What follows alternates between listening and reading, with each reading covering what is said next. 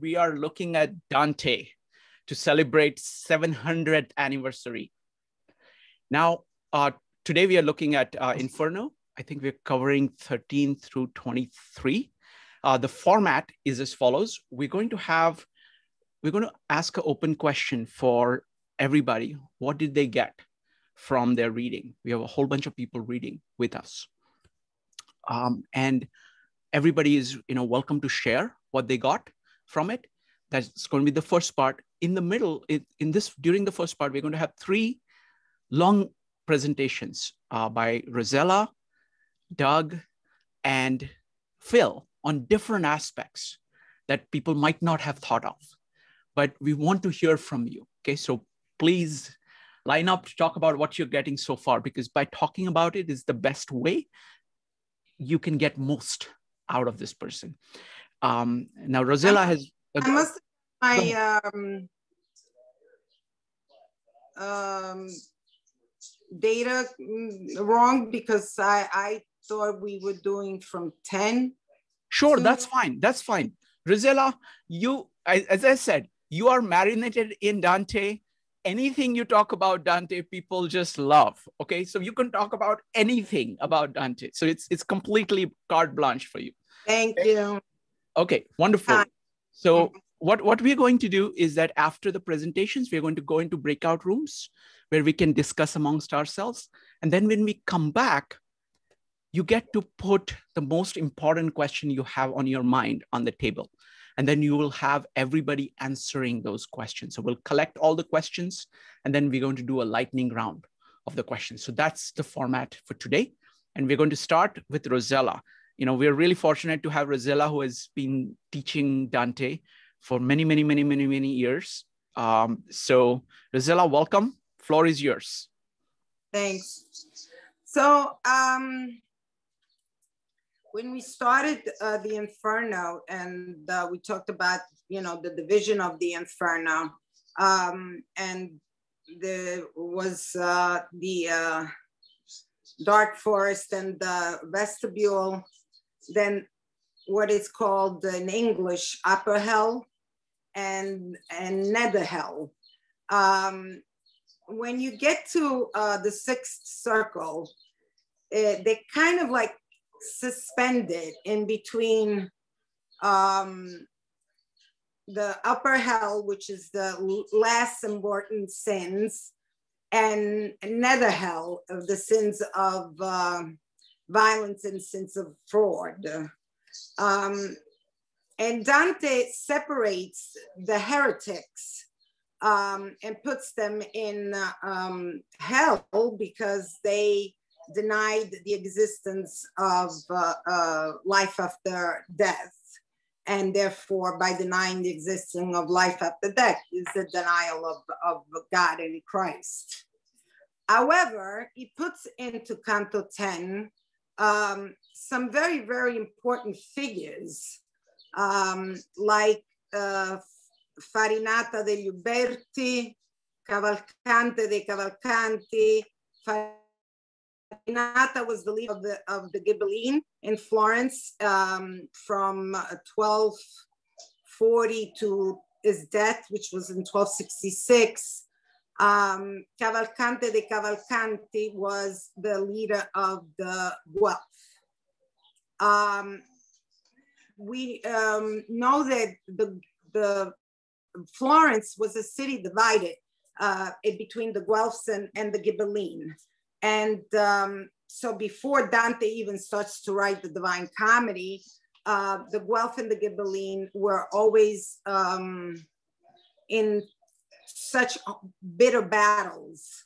Um, and they were always um, kicking each other out of Florence and then and then some somehow they would make a comeback and the other one got kicked, would kicked out and um, so Farinata degli Uberti is a, an enemy of Dante, even though Dante never met him because he was born in 1265.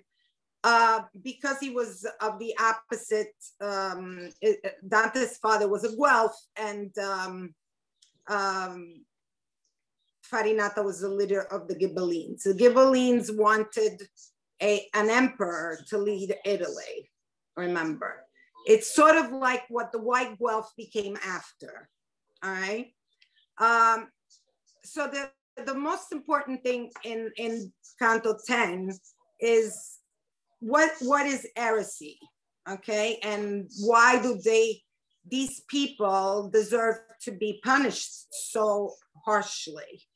Well, um, the heretic in Canto 10 were all people who had um, different ideas of what life, it, whether it didn't exist uh, after death or they didn't believe at all, or and and another biggest big character that Dante meets in Canto 10 towards the end is Frederick II. He was the king of Sicily, and he was the one who started the Sicilian school. So Dante felt attracted to him by um, not only because Dante wanted an emperor, but because he um, uh, had taken the poetic of the Sicilian school uh, in the Dolce Stil Novo school and then adapted to his own poetic, you know. So I think I talked about how Dante has wears many hats in in the Divine Comedy. So he's the narrator, he's the pilgrim, he's the uh, the student, the um, uh, judge, jury, and so on and so forth. So in Canto 10, it becomes really important how um, of the role of Virgil. They are inside the city of Dis. This means devil. So they have entered the, you know, the realm of the devil. And Virgil becomes more and more his um, voice of reason. So he it's beautiful in Canto 10 how he asks Virgil questions and then Virgil answers him, but you know, it's Dante doing all of these roles intertwined. You have three lines in which he's the narrator, three lines in which he's the pilgrim, three lines in which he's the student, three lines in which he's Virgil, and and you have to like kind of weave through it. So I just wanted to read um, a couple of line um, from Canto 10 when he says, um, Oh, power supreme, that through these impious circles turnest me, I began, as pleases thee. Speak to me, and my longing satisfied. So he, he is very, very um, ass, so to speak, to Virgil, um, and say, "Oh, supreme," or you know, tell me what is going on here. And then it's Virgil who answers, the people who are lying in these tombs may be, they be seen already are uplifted that covers all and no one keep it guard. Dante sees these uh, tombs, they open, they have, uh, the tombstone is behind, um, it's in the front, okay, laying on the on the side, and the flames are coming out of these tombs, and he's afraid to look in, okay.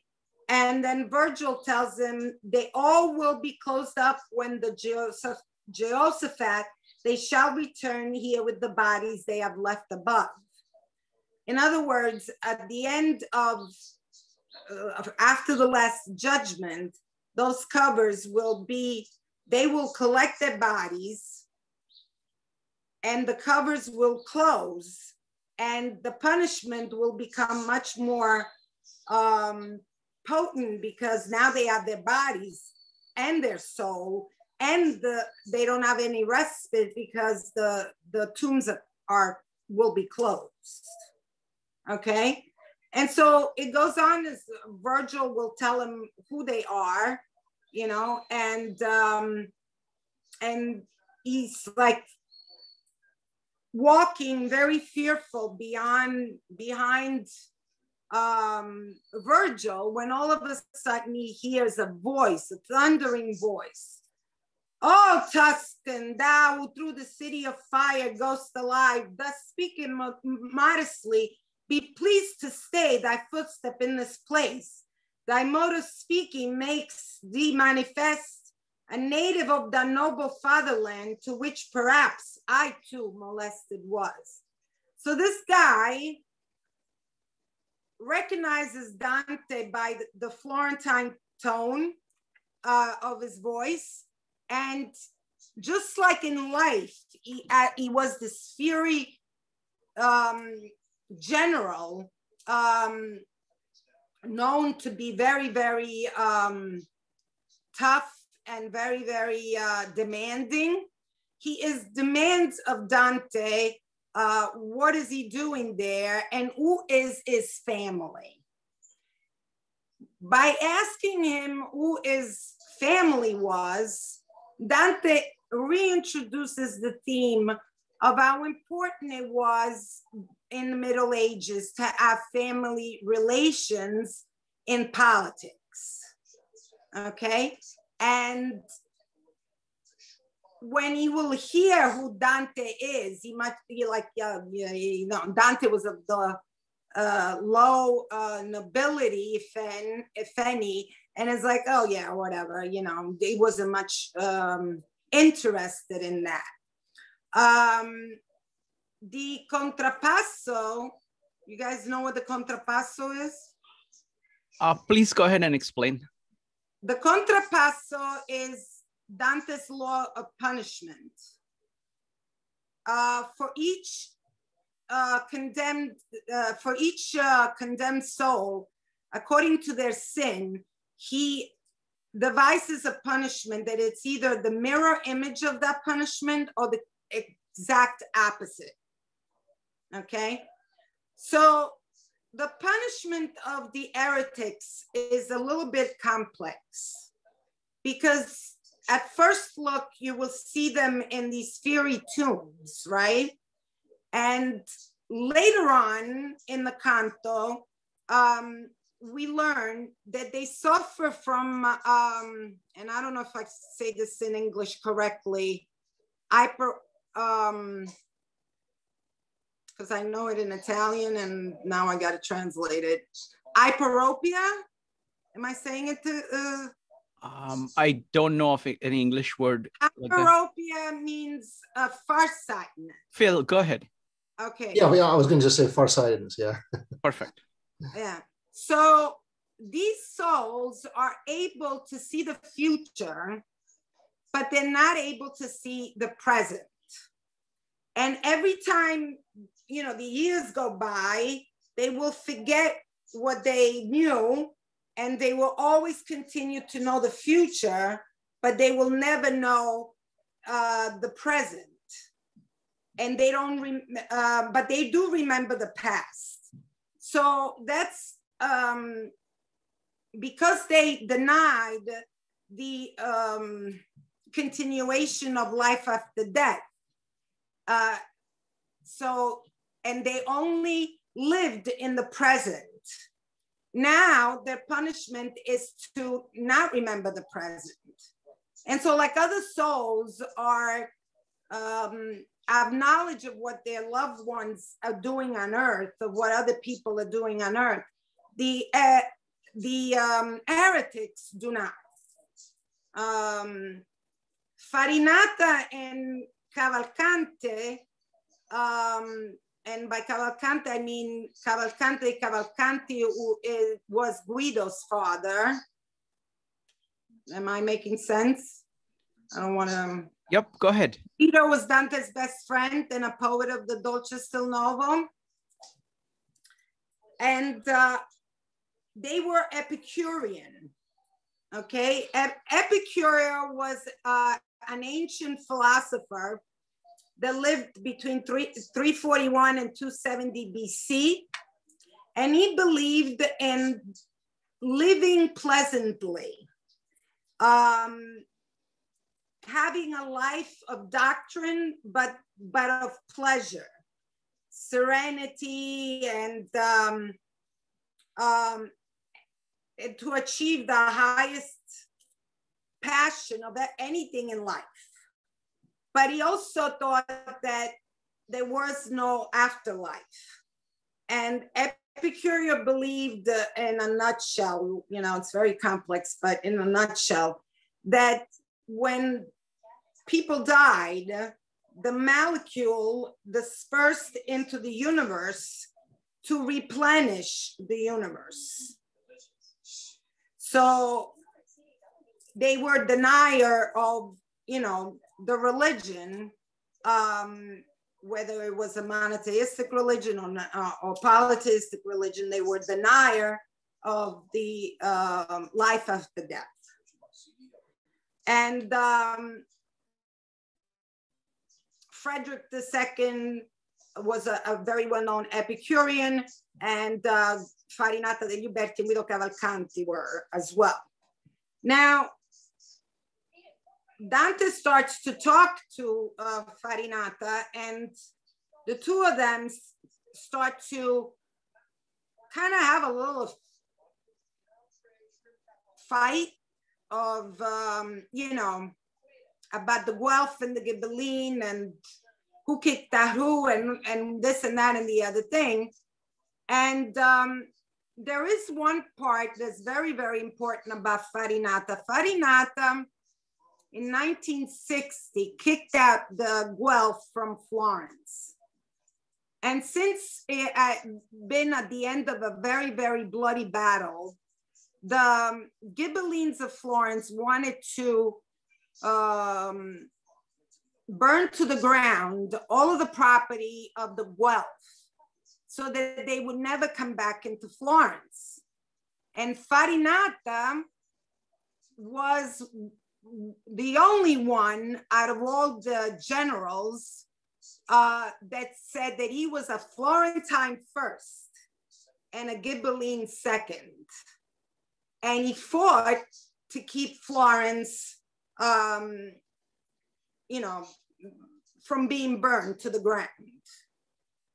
Later on, he pays the price because when he dies, he's buried with his wife.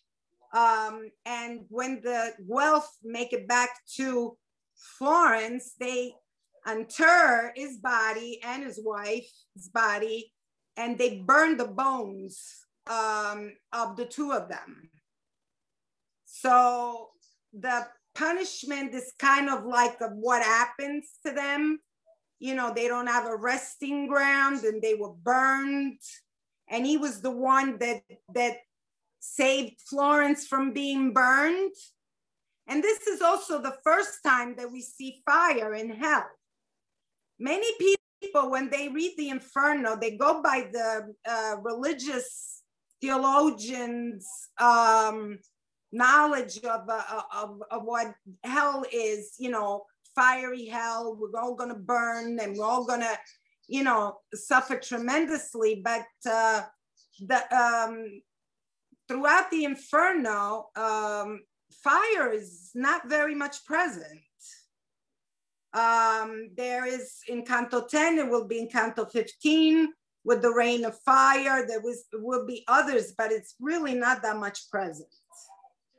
He's he devises a whole lot of other punishments, but not so much fire. Um, you know, contrary to popular belief. So as he's talking and he's having this tit for tat with Dante, and now Dante, all of a sudden, he's no longer the student and oh my God, oh supreme. He is talking to Farinata with a very, um, you know, tough tone. It's like, oh yeah, you kicked them out, but then they came back in three years and kicked your ass out and blah, blah, blah. You know, and he's being like sarcastic. When all of a sudden, so when Farinata comes out of the tomb, he comes out full force with his chest out. You know, you could, uh, like a general. Who are you, a Tuscan, right? With a voice booming. And we think that he was on his tippy toes in the in a tomb because you see him from the belly button up, right?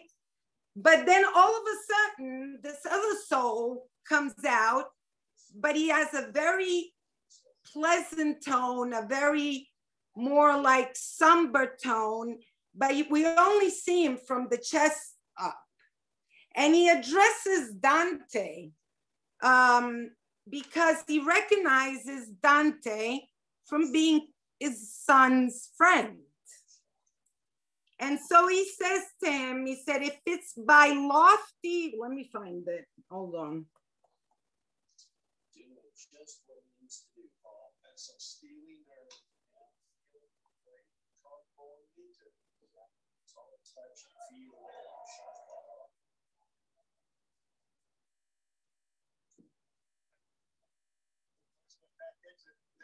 I can't find the. But in any case, he said, if you are here by loftiness of genius, if you find the lines, I, I remember the words loftiness of genius, okay? Uh, why is it my, where is my son? So he's looking around for, for Guido because Guido was Dante's best friend and a member of the Stilnova school. He was an Epicurean. He was well read. He was erudite learner. He spoke Greek, Latin, Arabic, and all, you know, and, and then some. And so he's like, if you're here by loftiness of genius, so here is Dante, the Dante, who says, eh, you know, I'm a genius. He's putting those words in, in, in people's mouth like, oh, look at me, loftiness of genius, right?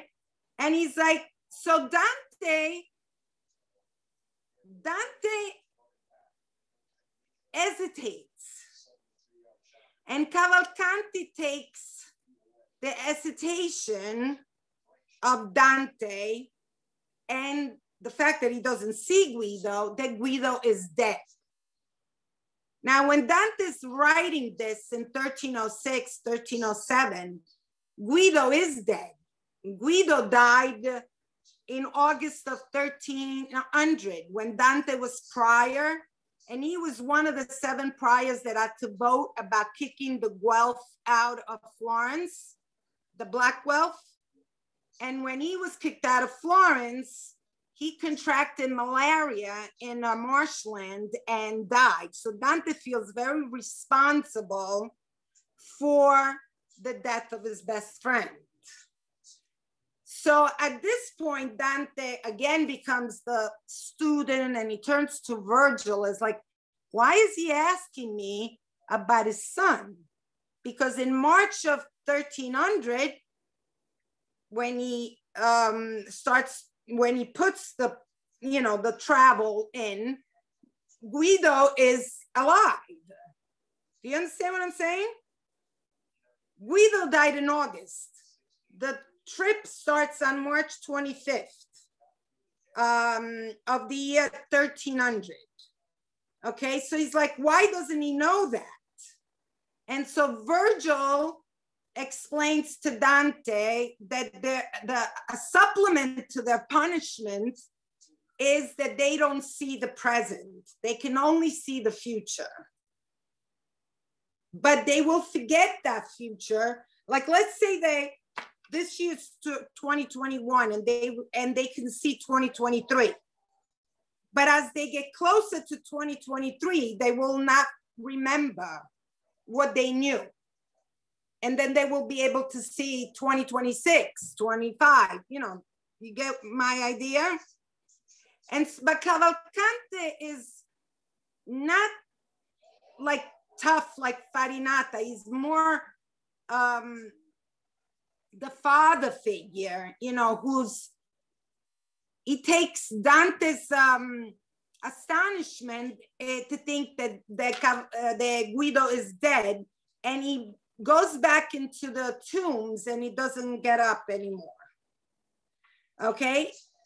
And Farinata, and if I could only find the Farinata,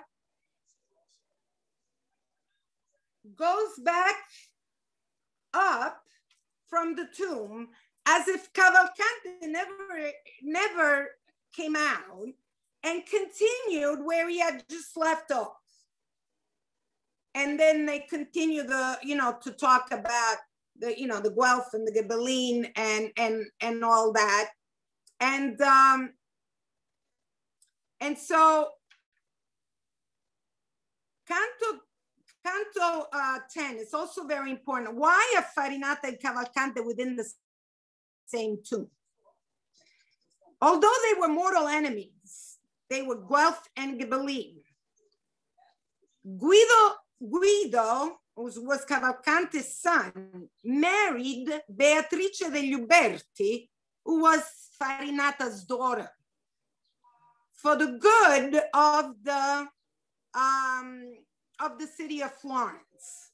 This marriage was proposed for the good of the city of Florence. Didn't do much, but um, they were uh, what do you call it? In-laws, some kind of, you know, they were the father-in-laws, and so they're punished within the same tomb, because Dante wants to point out that relationships were very, very important in politics, social issues, government, and all the uh, all the rest that was important for the life of Florence, Italy, the world, uh, what have you.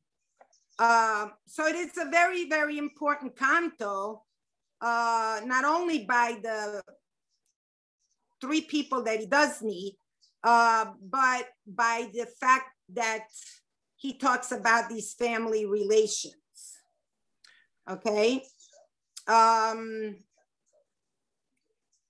the other, um, Frederick II was the last um, hope that Italy had of being united under an emperor, a Roman emperor.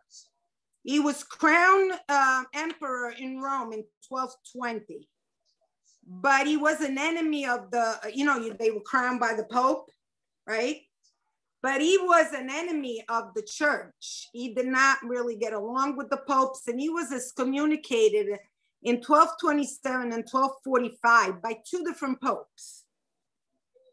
Yeah, two different popes. There, and then he died in 1250, and with him died the um, the hope that Italy had that the kingdom of Sicily would expand and unite the entire country. Manfred, Frederick II's son, uh, took over after Frederick II, but he didn't have the, the you know, toughness and spunk and, and the, you know, the political um, ideology that the father had.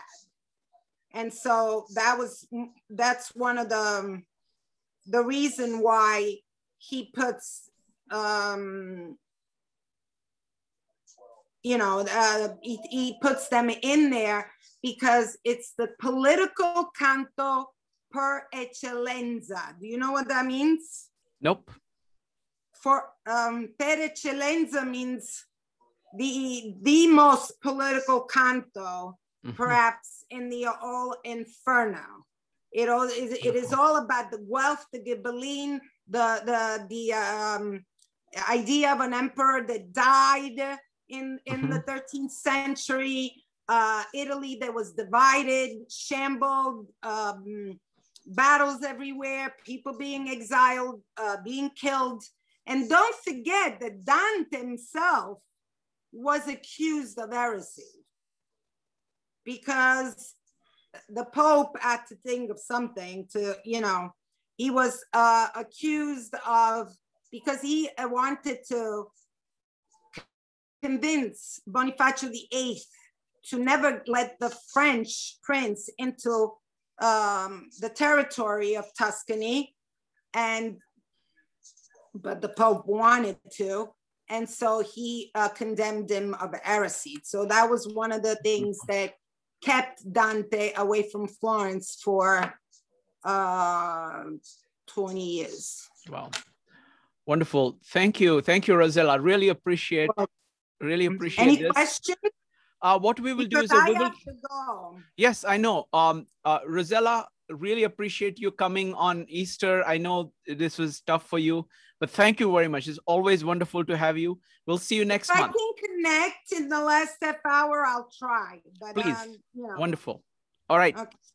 Okay, folks. Uh, so uh, now with with this great start by Rosella, now it's everybody else's turn to talk about what they are getting from their reading of Dante. So we're going to start with Joe, then Maxine, Vanessa, and Jess, Jason. Uh, give me just a second, Joe. Uh, let me go ahead.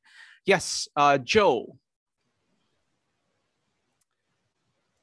Yeah, so I'm not going to have as detailed as a, uh presentation as uh, Rosella just had, um, but in reading this portion of the uh, uh, these ten cantos that uh, um, we were uh, covering for this reading, uh, the thing that I actually took the most out of it was the idea of how suicide and how he viewed suicide was interesting to me, um, because suicide at one point had been seen as a honorable thing to do.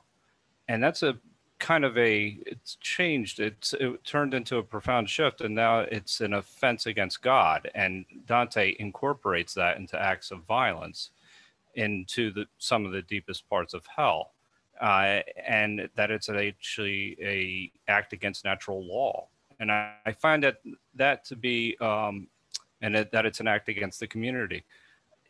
That and that the person that actually committed suicide lived a very good life for the most part just couldn't deal with the certain circumstances with frederick ii uh, this other thing that stuck out to me in this in these cantos was the when he ran in with uh, Brunetto, Brunetto Latini, his mentor, and there was this genuine connection that I felt like when I was reading it that they you know that he was very appreciative of what he had done and very appreciative of uh, of um, of Dante himself, and even referred to him as in the lectures uh, as his son on a couple of different occasions.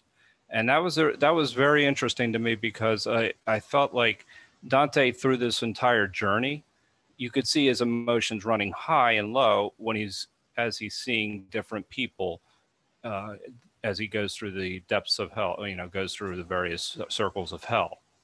Uh, the last part that really stuck out to me that was interesting is the use of popes and having them in hell as well. I thought that that was an incredibly powerful thing, especially the way he depicted them. Uh, and it was what it really said is that that we're not above reproach and that's a really powerful thing at that point in time in italy i it gives you so I, I what i'm getting the most out of this is that really that nobody's above reproach. And the second thing is i'm really getting insights into the political dynamics of the time and just how corrupt these these actions were.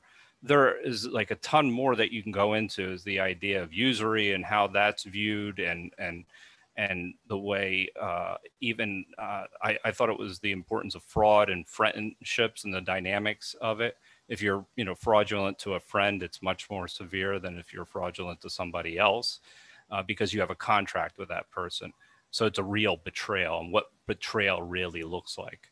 Um, so I, I, I, think that the, all these are really interesting things to me. But what it does is it ultimately gives you a framework also for understanding ethics in general. Um, it may not be, you may not subscribe to the hierarchical structure that he's laid out for us, but it, it's nonetheless, it's very interesting. So um, I'll just leave my comments there. But uh, I'm enjoying reading it, but I'd like to read it a little, I'd, I'd like to read it a few more times before I really start commenting on it. Wonderful. Thank you. Thank you, Joe. Maxine, what are you what are you getting from reading of Dante? Well, kind of a reaffirmation of my own views. Um, there were two parts that stood out for me. Uh, the first are um, the souls, which we just talked about, how they can't look back, they always have to look forward. I like that. And um, and their punishment is looking back. And um, I believe that's the way we should live our lives. We can't look back. We have to just constantly go forward. Um, also, I enjoyed the part about the tailor. Um, the tailor made his suit and he knew exactly how to make it. And that was wonderful because he could uh, see what Dante was like. But then all of a sudden his relationship changed and and Dante didn't pick up on that. And that's important to recognize relationships changing. And uh, then you have to re reevaluate your views. Uh, you can't always um, you can't always well that's looking backwards on the views of people that you meet um, and people that you have relationships with. You have to adjust your views to the way things are and not the way things were. And he has a lot of there are so many things in you could you could do one night on each canto um, you there's just so much in in all of them to um, to look into it's just amazing and i'm sure that i'll just keep going with this even when we leave the leave maybe the part that we're going through tonight i'll just keep reading it before I read the next part. Wonderful. Thank you. Thank you, Maxine. I, I like, uh, for example, Rosella was saying, you know, I've read it 300 times and still every time I read it, I will get something new. I mean, that's, that's the standard of great art because what he's doing is that he's actually taking the entire worldview at that time, all of philosophy, all of understanding of social dynamics, all of religion. He's putting it all together and he's actually making it concrete for you. So it is something very special. Thank you. Thank you, Maxine. Uh, next up is going to be Vanessa uh, and Jason. Vanessa. Okay, to be honest, I'm struggling this, but for a different reason. Uh, because I don't know the history being referred to. I, I set out read, hoping to read them all, and I got through 17 and kind of had to skim a few because it got to the point, okay, if I try to think through who these people are, I may be lucky to get through five cantos. And also there's um, maybe midway through, there's a mixture of history and also mythology. They're talking about minotaurs, centaurs, Epicurus, uh, and even Mars is brought up there. As far as I know, Mars is the Roman god and also the planet. So it's like, okay, you know, then trying to figure out, okay, are we talking mythology or actually history here? But there's also the, um, there's kind of this Old Testament vibe to it an eye for an eye, a tooth for a tooth. The punishment fits the crime. And kind of sorry to bring this up, I think, but this is a cultural thing. I think of the Godfather movies. Just think of, you know, the horse. I won't say more about that in case someone hasn't seen it, but you think, okay, that's like the absolute revenge, or if you talk about justice, you know, if you're thinking, okay, I want to find justice, this is how I find it. Um, but it's funny as um, let's see, I think it was maybe in Canto's uh 14 when he's they're talking about going um, down, you know, to the layers of hell, and it's implied that they're actually going to the center of the universe. Like it's like, wait a minute, the center of the universe is actually, you know, when you reach it, you're actually at the uh, lowest layer of hell. But then if you think, okay, heaven's talking about from being up above, so maybe that kind of makes sense. And there was another point where it's kind of like the hidden message. I got the impression that the one uh, character they were interacting with almost like maybe Jesus in disguise. You know, I'm going to kindly give you the words and like teach you the way. Not so much, I don't want to, you know, slap it in your face, but, you know, kind of build it more in a nice way.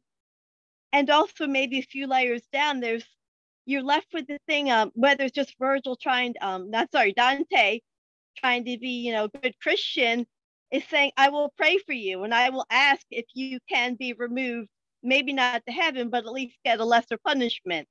In one case, I think they were people from the same uh, either town he was living at or his birthplace. Um, and he was like surprised to see them down there. And there's also like what like Joe briefly brought up ethics. I think the one we're talking about separating the one into two. is like, well, put your ethics aside, you know, or like logic or common sense. And if you kind of put that aside, that maybe you understand why this punishment was put forth. Like I said, it's you know, it's one of those if you're just reading it as a story. So I think next time maybe that there's a website that lists all the characters. You of have a cliff notes you can easily refer to rather than thinking, okay, I'm getting more lost when I began. So that's it for now. Thank you, uh, Vanessa. And uh, Phil, if you have any uh, resources or something that, uh, if you have any ideas, you can go ahead and put it in chat um, so people can uh, use. Otherwise, uh, Vanessa, what we'll do is that if there is anything that we can think of after the meetup, we'll go ahead and send it to you, okay? Thank you. next up is going to be Jason, Doug, Madeline, and Christian. Jason. Hi, everybody. Um, uh, this is my, this sector from 12 to 20, uh, 12 to 22 is my third time read it. Okay, and uh, uh I'm so happy. I uh, uh, experience is after read the third time, I something doesn't make sense before start to make sense now, and I believe you know in the future will be more make more sense. And I think the idea we should read one canto per week and then make it a two-year project. That probably will be interesting. And the one thing I start to understand, I like to share, uh, I hope I'm correct, uh, is I always wondered why from circle one to six, like each circle is just one scene. And the seven, eight, and the nine, like seven have like three different division, and the circle eight have the 10 different digits and the circle nine have uh, four, and each one have more. So I look at it and I start to understand because it's like a cone, right? So first level is wider. The second one going down is smaller. To the seven, eight, and nine is smaller. The, the circle is smaller. So you need the deeper so you can hold more thinner. That's why you need the more level. So uh, that's I think at least that's my I, I understand you know the whole structure. Probably because my engineering background, so I'm more interested on the how the hardware, you know make it. So that's the thing I find out quite interesting. And I also try to understand how Dante organized the scenes, the severe. So I find just uh, this week I read the uh, Greek play, uh, Medea, talk about Jason, not me, and another Jason, Jason the Golden Fleet. So I realized uh, Jason has been put in the, I think the circle eight as a seducer, okay? Not because he, I always think he should commit like adultery because he married another woman. So uh, dump his own wife. So, but actually it's not. So he's not considered as lust, Okay, lust is much lighter thing because you just cannot control your desire. But Jason, the Golden Fleet Jason, is being considered as hyper rational. So everything is in his mind. He is planning to dump his Medea uh, wife and marry the princess. Everything is in his plan. The rationality of Jason make him uh, not just lust, basics is a seducer. So it's much severe sin, okay? And also interest like uh, some philosophy, like uh, Seneca, right? He's in the virtuous, virtuous pagan, but he's a Stoic uh, philosopher. But for the upside, Epicurean, it's not that easy. It's not uh, uh, uh, a virtuous uh, pagan. It's a serious crime, so become a heretics, right? So, and another thing is like, uh, I find out the bias of Dante, he probably like, just like last time we talked about, I think, uh, he preferred Roman and then Greek.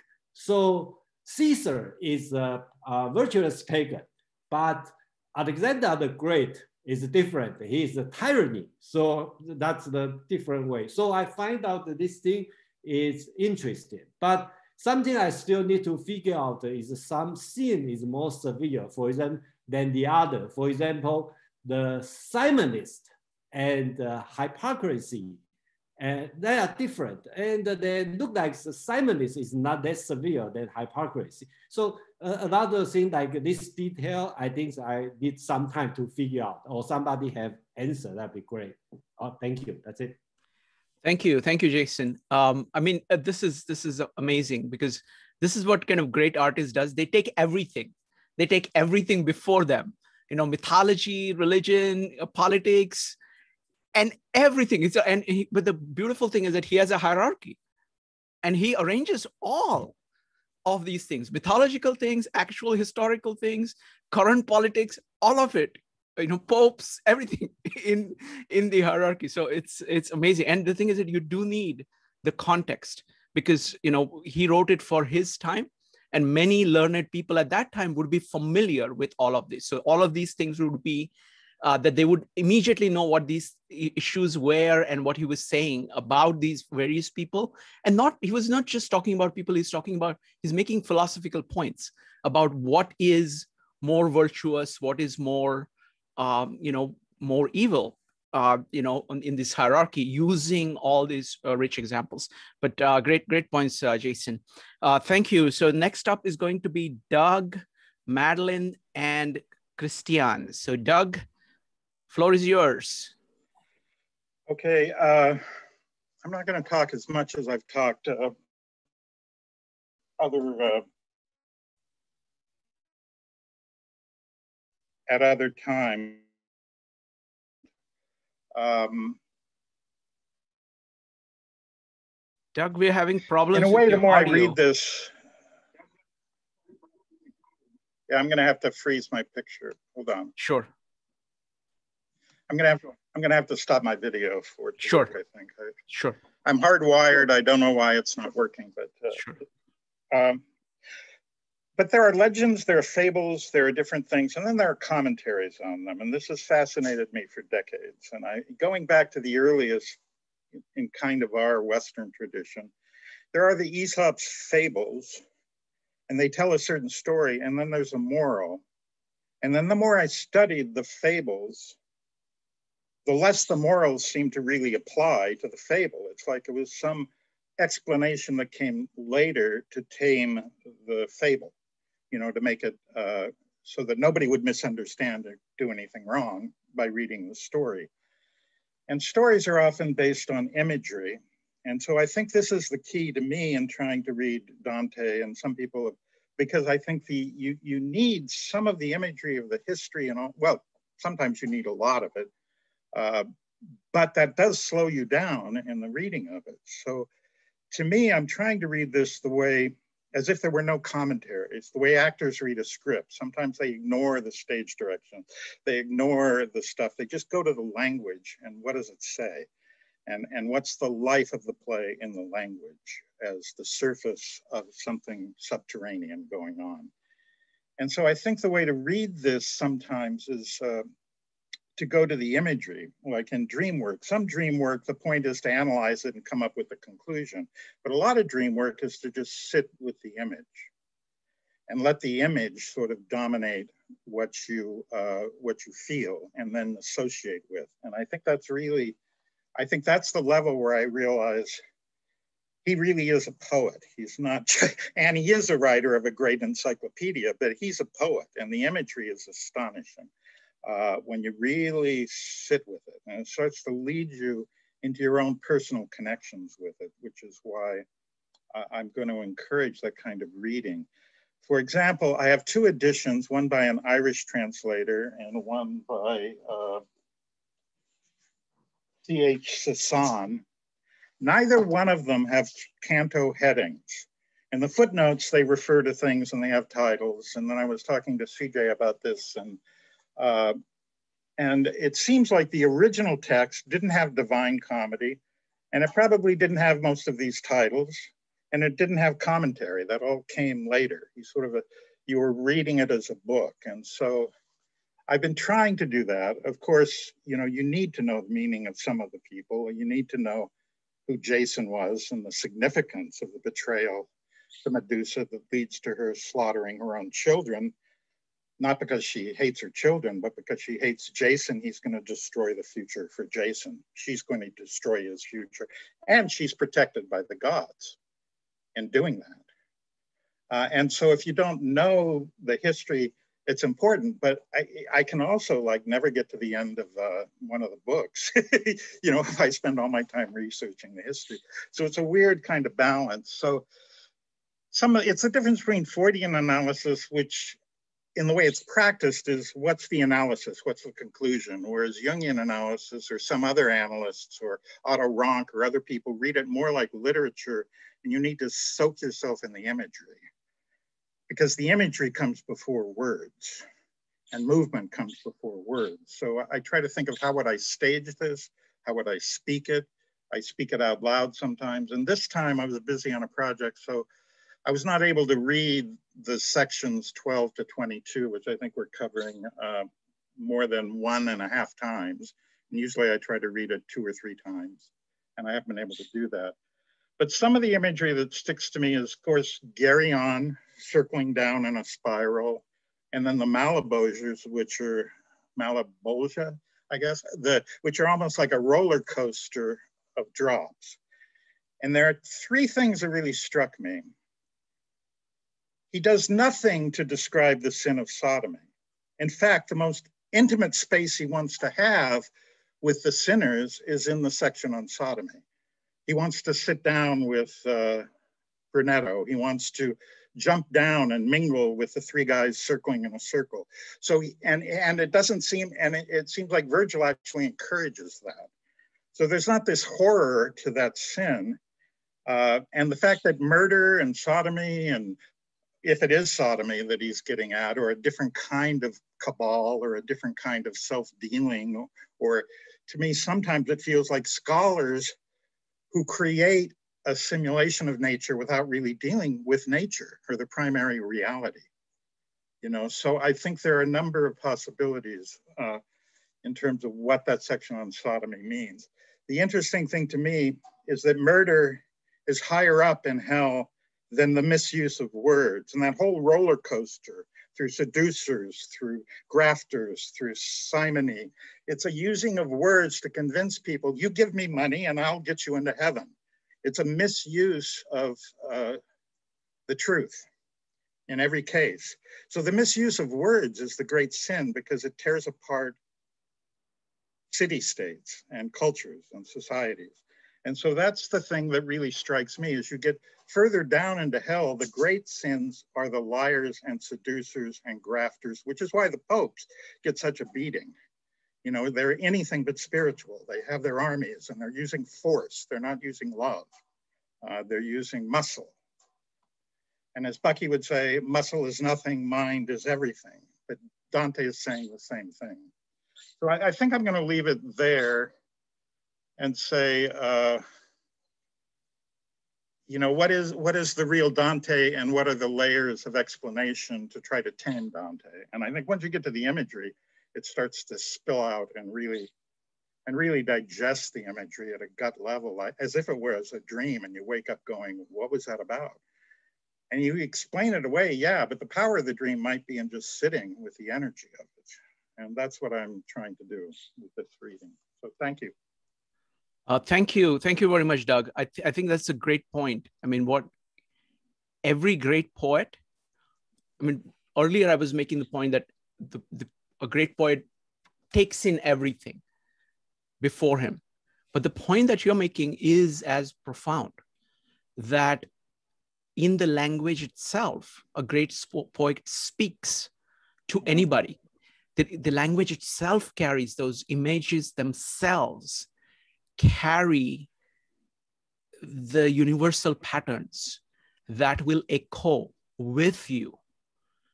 Um, knowing all the context will help.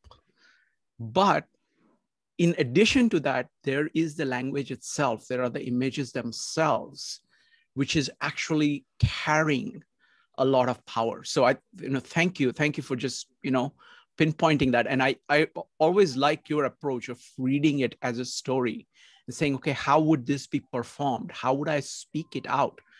you know as as a human being living through these things so it, it's just wonderful wonderful points thank you uh, well, next let me add one quick thing. The music of the language and the lines, that's one thing, which if you don't read Italian, you get a shadow of it or you get some simulation of it.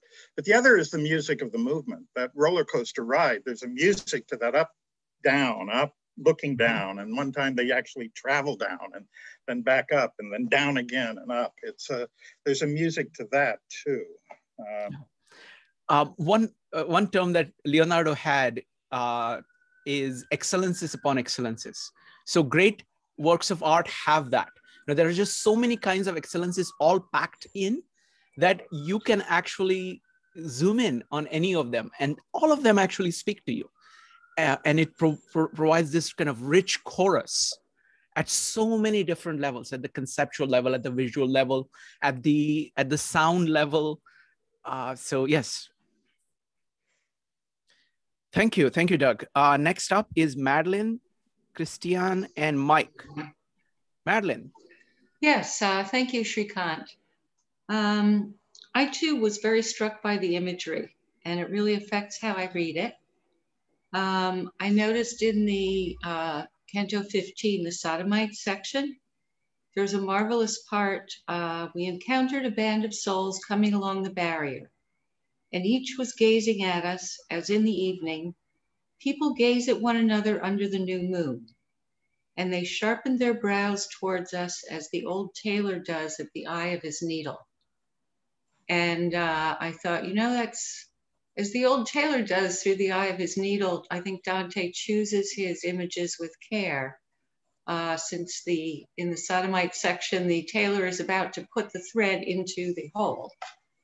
Um, I also loved the um, the part in Canto 13. Um, he's plucked a small branch from a thorn bush. As when a green log is burnt at one end, from the other it drips and sputters as air escapes. So from the broken stump came forth words and blood together, and I let the tip fall and stood like one afraid. It was just, it was so striking and brilliant and um, came words and blood together. In the main thing I was struck by in this in this group of um, cantos that we read for this month was the introduction of both the centaurs and the minotaur. Um, because since this is um, in the section about violence, um, where Virgil is standing at the breast of the centaur where the where the two natures are wedded. And so um, it seemed as if this the imagery here was really talking about um, in people the the rational moral function is uh, wedded to the uh, sort of amoral animal functions and we are struggling along like centaurs and minotaurs. Um, and I thought that the introduction of that imagery in the violence section was, was just, it was amazing. Thank you. Thank you. Thank you very much, Madeline. Appreciate that. Next up is going to be Christian, Mike Sorn, and Shirley. Christian.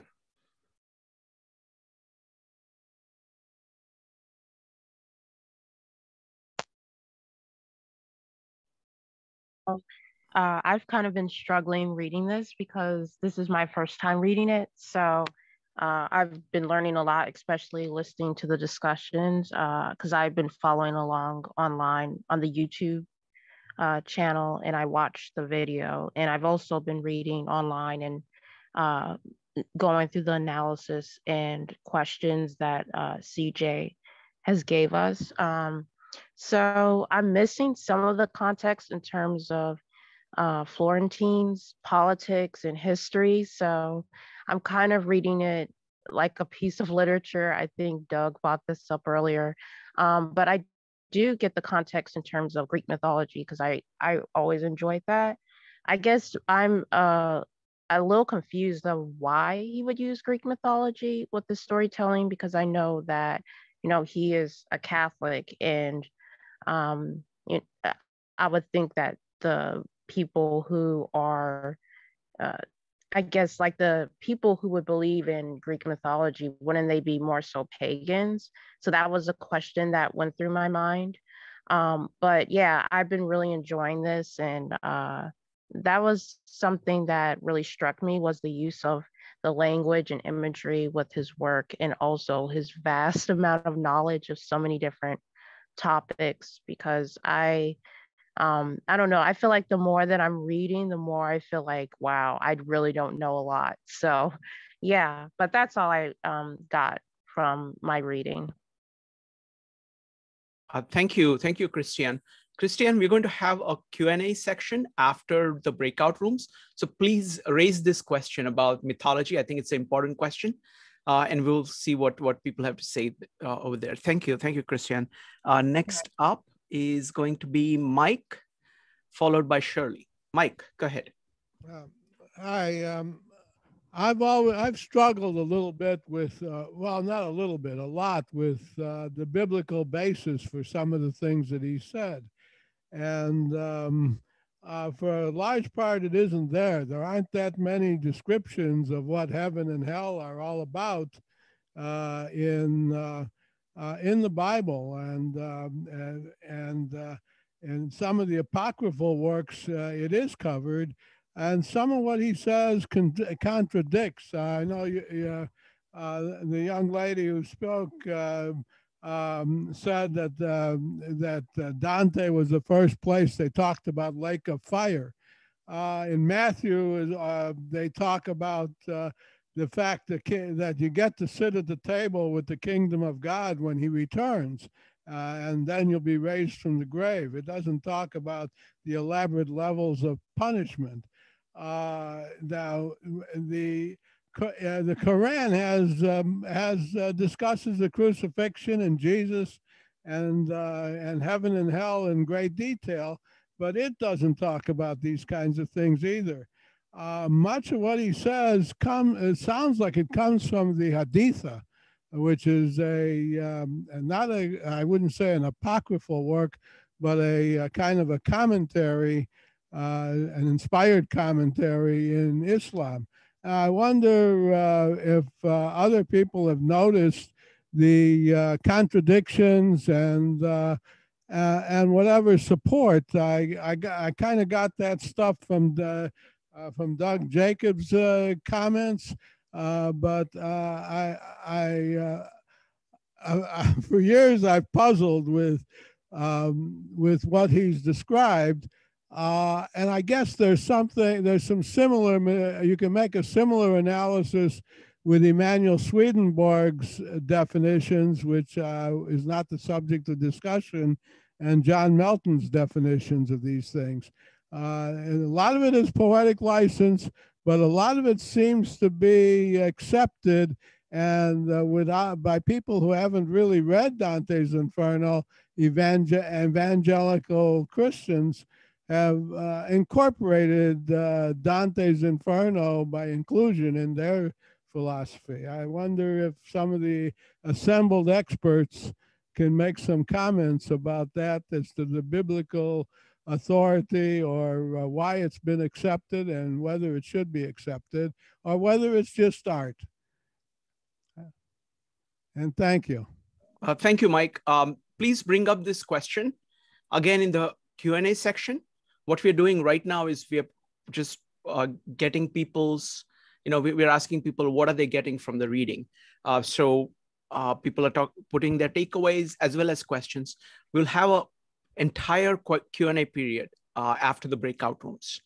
Uh, so we'll uh, please bring it bring it up there. Next up is going to be Shirley. Shirley, what what do you think? Uh, Shirley, you need to unmute yourself though. I'm not going to hell, and I'm going to work very hard not to get there. So I got that out of there. uh, second, I was what I also got out of it was how contemporary it is with what's going on today. Now, one of the other things that came to me, third, would be in Canto 12 when he speaks about the Minotaur. And I don't know if people know how how the Minotaur came about, but um, the king of Crete, his wife had sex with a white bull, and that's what produced the Minotaur. Uh, Dante doesn't talk too much about it; it's mm-hmm. just kind of stuck in there. But there is a painting around there, a painting by a fellow by the name of uh, Vanderlyn, and it's called uh, Ariadne on the Aranexus. And she's uh, laying on the grass, and in the back, uh, you see um, Theseus sneaking off because she's also pregnant but in this picture. But all's not lost because the Bacchus comes down and marries her, and they live happily ever after. So that kind of reminded me of the painting, which was beautiful work.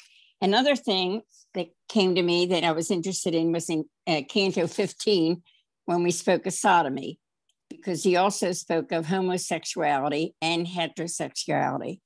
And he seems, and lust, and he, he feels that the lust itself is the same for homosexuality as it is for homos- heterosexuality. He doesn't seem to separate that. It's okay. And of course, we know in the Middle Ages it was men and boys, and it was a sin, but it wasn't unheard of. So uh, I thought that was um, interesting about that. Uh, but Dante seems to have, um,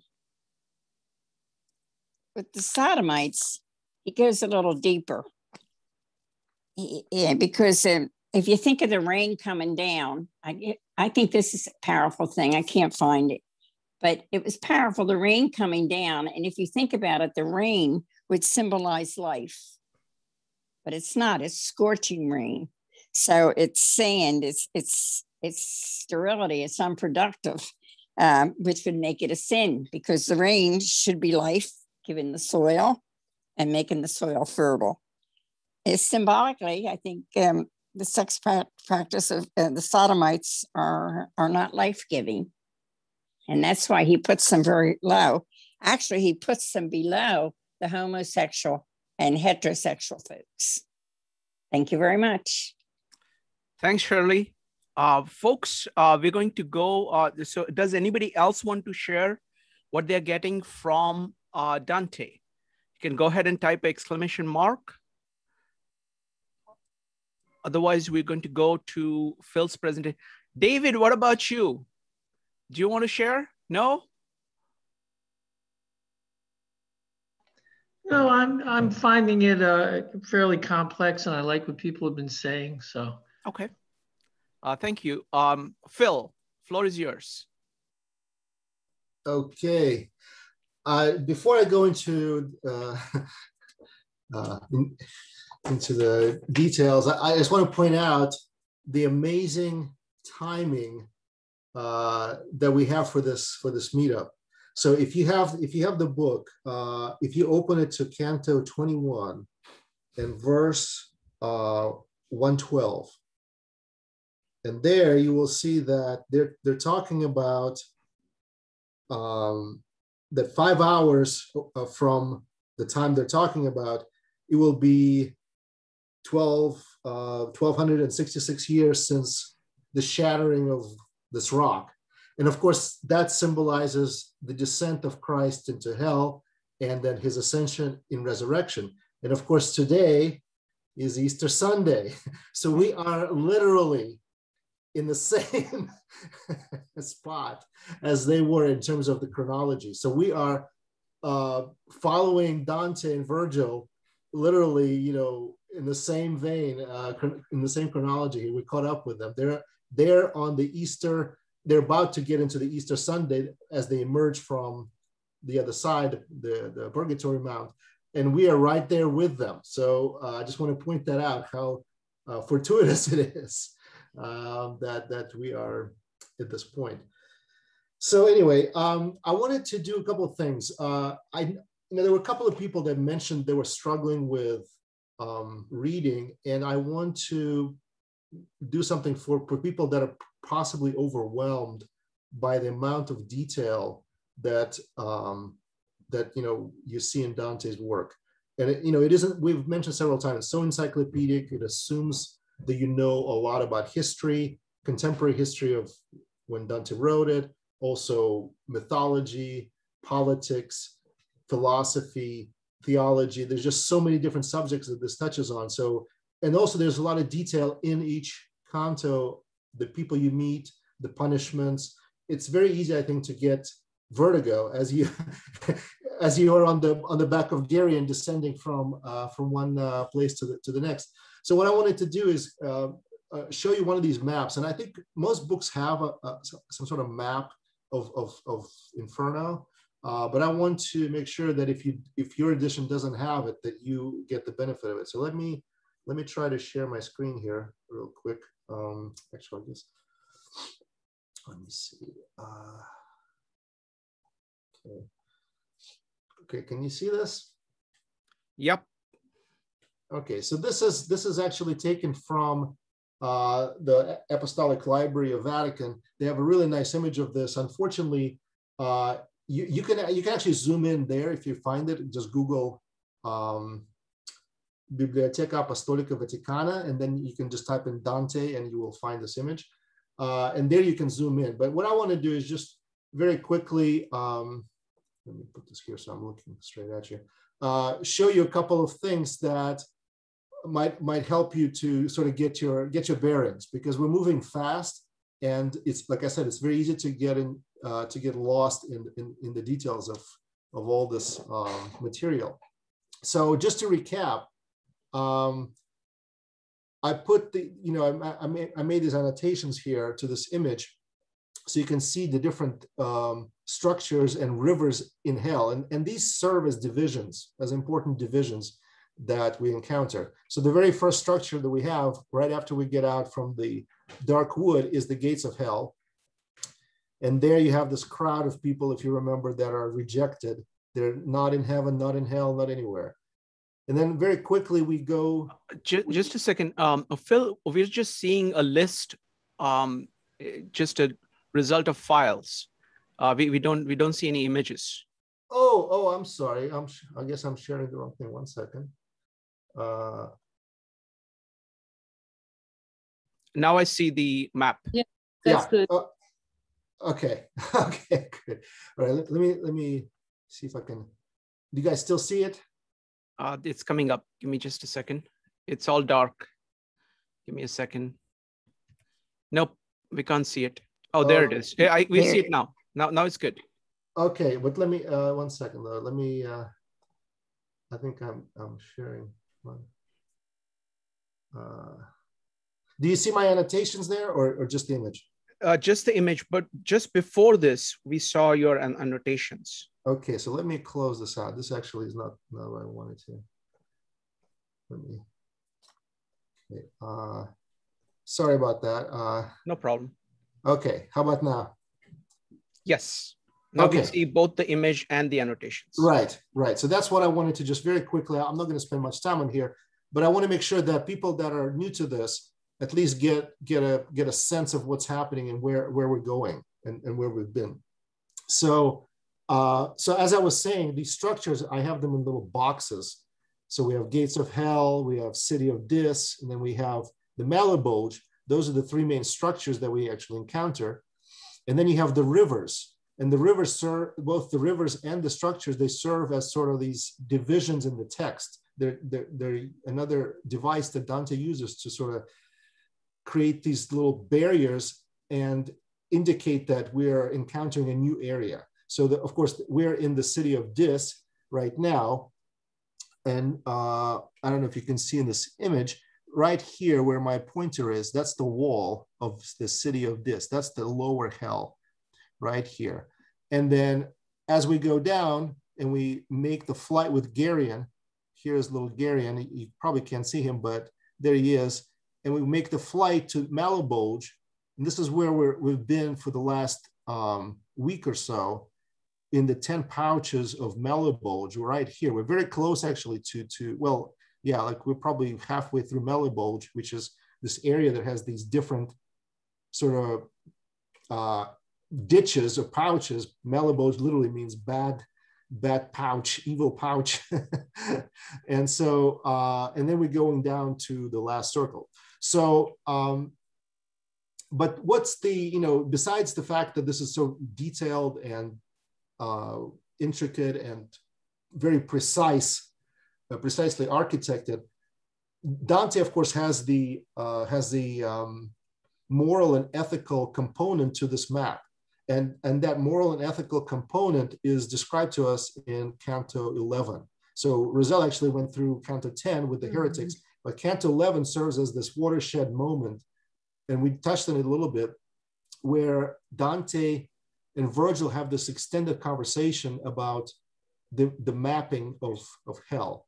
And if you get lost and somehow like you're like you're not sure like why you know why we're here or what's what's what's going on, go back to Canto 11 and re- reread it because it actually gives a very good uh, look back and look forward. And and w- what you get out of it if you read it is that um, the ethical mapping of hell has to do with the three different dispositions that uh, sinful dispositions that, that, that people can have and the corresponding punishments to those dispositions. And so the first one, the first disposition is this incontinence. And that's what you can see on uh, uh, the first three circles that we had, with the lustful, the gluttonous, the avaricious. Those are the three circles of the incontinence. And they're the, least uh, uh offensive to God. And then you have, notice you have the river Styx, which again, the rivers serve as, the, uh, as an indication that something is changing now. And now you have this different, uh, different area, and that's the area of what Dante calls um, uh, mad bestiality. And the bestiality can be physical, as the sodomites and the, the, the, the violent, or it could be um, spiritual, as the as the uh, the heretics and the the the usurers. So it's a, it's a sort of different kind of bestiality. And then the, the last part, which is basically half of Inferno, is fraud, and that and that's something that of course is we, we should probably appreciate the fact that Dante pays so much attention to fraud and devotes really half of the half of Inferno to to that subject. Um, but that's that's where we are right now. We're in the last part of this, which is which is what he calls malice. So malice and fraud, and and there and there are different kinds of malice. So there's regular fraud, and then there's what he calls treacherous fraud. And treacherous fraud is when you defraud somebody you have actually a personal connection to, and that's that's the ultimate the ultimate sin. But in, going back to Canto 11, where all of this geography is described and mapped out, he talks about um, um, the proper occupation of man, which is using his talents and his nature to earn a living, versus the unnatural. And, and of course, that is what he describes as fraud, is when you use unnatural means, whether it's usury, which in his view is wrong, or uh, some other way of deception. And, and there is the famous line, and uh, I, I would be curious uh, if Doug has anything to say about it, about art being God's grandchild and the fact that we use art as something that is God given to us. Uh, we are, are, ourselves an artifact of God, and then what, whatever our artifacts are, they are the grandchildren of God, right? Because you know we're creation, and then we make our own creations, whether it's craft or art or anything else. And of course, Dante himself is a poet, uh, so this is a very interesting expression of art being God's grandchild. So that's, uh, I don't know if this was helpful. I, I, hope, I hope this was helpful, just this map and uh, orienting ourselves where we're going. So again, we're, we're right here in these little pouches of Malebolge right now. And we're just going, again, it's hard to see. And let me see if I can zoom in just a little bit it's yeah, it's still very hard to see, but you can see these little bridges that we're crossing from one ditch to the next. And in each ditch, there is there are different different uh, types of fraud that are described. And so we had the the the, the simonists and the barrators and the flatterers, different different different kinds of things going on. Okay, uh, let me stop sharing. Okay. Um, so that that was that was just one one thing I wanted to. Uh, oh, Phil, let me just comment on this. I, I think this is fantastic. Mm-hmm. I think what we will do is that in the Q and A period, we'll bring this image up and look at you know any questions that people have. Se- several people have made several comments about this map. Shirley says she doesn't need the map. She doesn't plan on going there. Uh, you know, Jason is, uh, you know, is, is saying that, okay, it's a funnel. So more people are at the top and less people are there. Doug has talked about the fact that use of words, misuse of words is such a heinous thing right. as compared to everything else. So, so there are lots of people who have lots of thoughts about about. The okay, map. well, I'm glad at least we got some kind of response. Yeah, uh, yeah, wonderful, yeah. wonderful. Um, yeah, that was good. Excellent. I so, wanted to mention just one one one other thought, um, if I may. No, please, please take your time. I just wanted to make the oh, comment okay, so okay. people have a continuity between now and uh, the the question uh, Q and A period, so they can continue okay. to think about any questions um, that they have with respect to the map. Go ahead. Mm-hmm. Okay, so uh, one other thing I wanted to to mention um, again, I know some some people are very knowledgeable about the subject here. We have lots of people very into Dante and the history and everything, but then there are people that are completely sounds like uh, this is the first time they're encountering this or the context is very new. And again, I just want to mention something that hopefully maybe will provoke some some thought or research on your part. Um, which and, and it is this it's this idea of medieval mindset as a whole and how it's different from our mindset. And i think we have to really appreciate that to get a good feel for dante because it's not you know dante didn't think like we do today. And people in general back then didn't think and vice versa we we don't think like they did either. We have a very different view of the world than what they had. And, and one way that expresses itself is this idea that everything in Dante's mind, everything that this world is, has been architected by God. So it's like central planning. I mean, it's the classical central planning. Like if you know some cities have been planned, they have a center and everything kind of radiates out. And there, there's no, no, it's very deterministic. And in, in medieval mind, that's how everything was uh, supposedly because God made it, right? So everything is predetermined, everything makes sense, everything has significance, and everything is connected to everything else because it's how it's designed. And because of that, there's this obsession with things like numbers, for instance. Like, where is it coming from? Well, the reason is because if God created it, then it, if He created seven of you know seven sins and then, well, he didn't create seven sins, but if there's such a thing as seven sins, then numbers seven is significant. Then there's other things that are significant that has to do with number seven. In our case, you know, we, we know that Dante is obsessed with number nine. We already saw it in La Vita Nuova. He was nine when he met Beatrice. He was nine years again, and etc etc et cetera, et cetera. In, the, in Inferno, of course, we have nine circles of hell. And again, we, we have this uh, idea of numbers being very significant and it wasn't just a, a literary thing. It was actually people believed it that everything has this significance in terms of numbers. You know, stars, constellations are not random. It's how they are. Uh, animals, you know, animals are not just animals. They also have some sort of representation. They have a hidden meaning, which is why we see like leopards and all, you know, all these animals that Dante meets in, in the opening of Inferno. Uh, so you have numbers, you have stars, and astrology, of course, is right there with, with that whole idea that stars have some effect on people is also part of this idea that God created stars, and therefore, when you're born, whatever zodiac sign you're born under, that has to have some significance in your life. It was, it was just a given.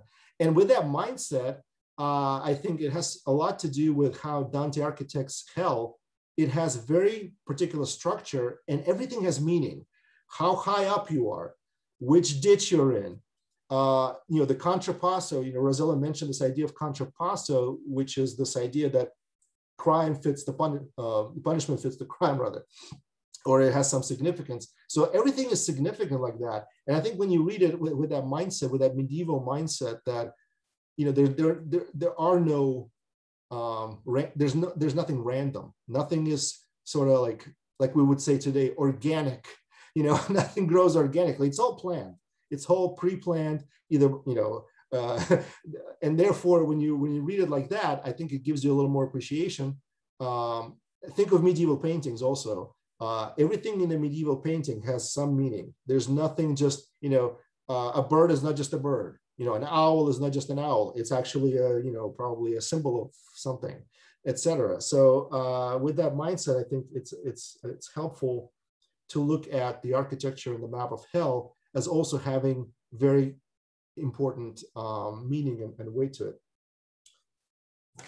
Uh, and the one last point I just want to make, and, that, and that's it, um, is is uh, Dante in in the work. It's in, uh, Dante himself in the work, and I think Rosella also mentioned uh, this interweaving of Dante the protagonist and Dante the narrator, and um, that is very evident in um, in some of the cantos we've read. For instance, um, if you want to turn with me just real quickly to Canto 20 and verse 19, uh, if you have it open, I'll read it for you. Uh, so in my version, it says, May God so let you read or gather fruit from what you read.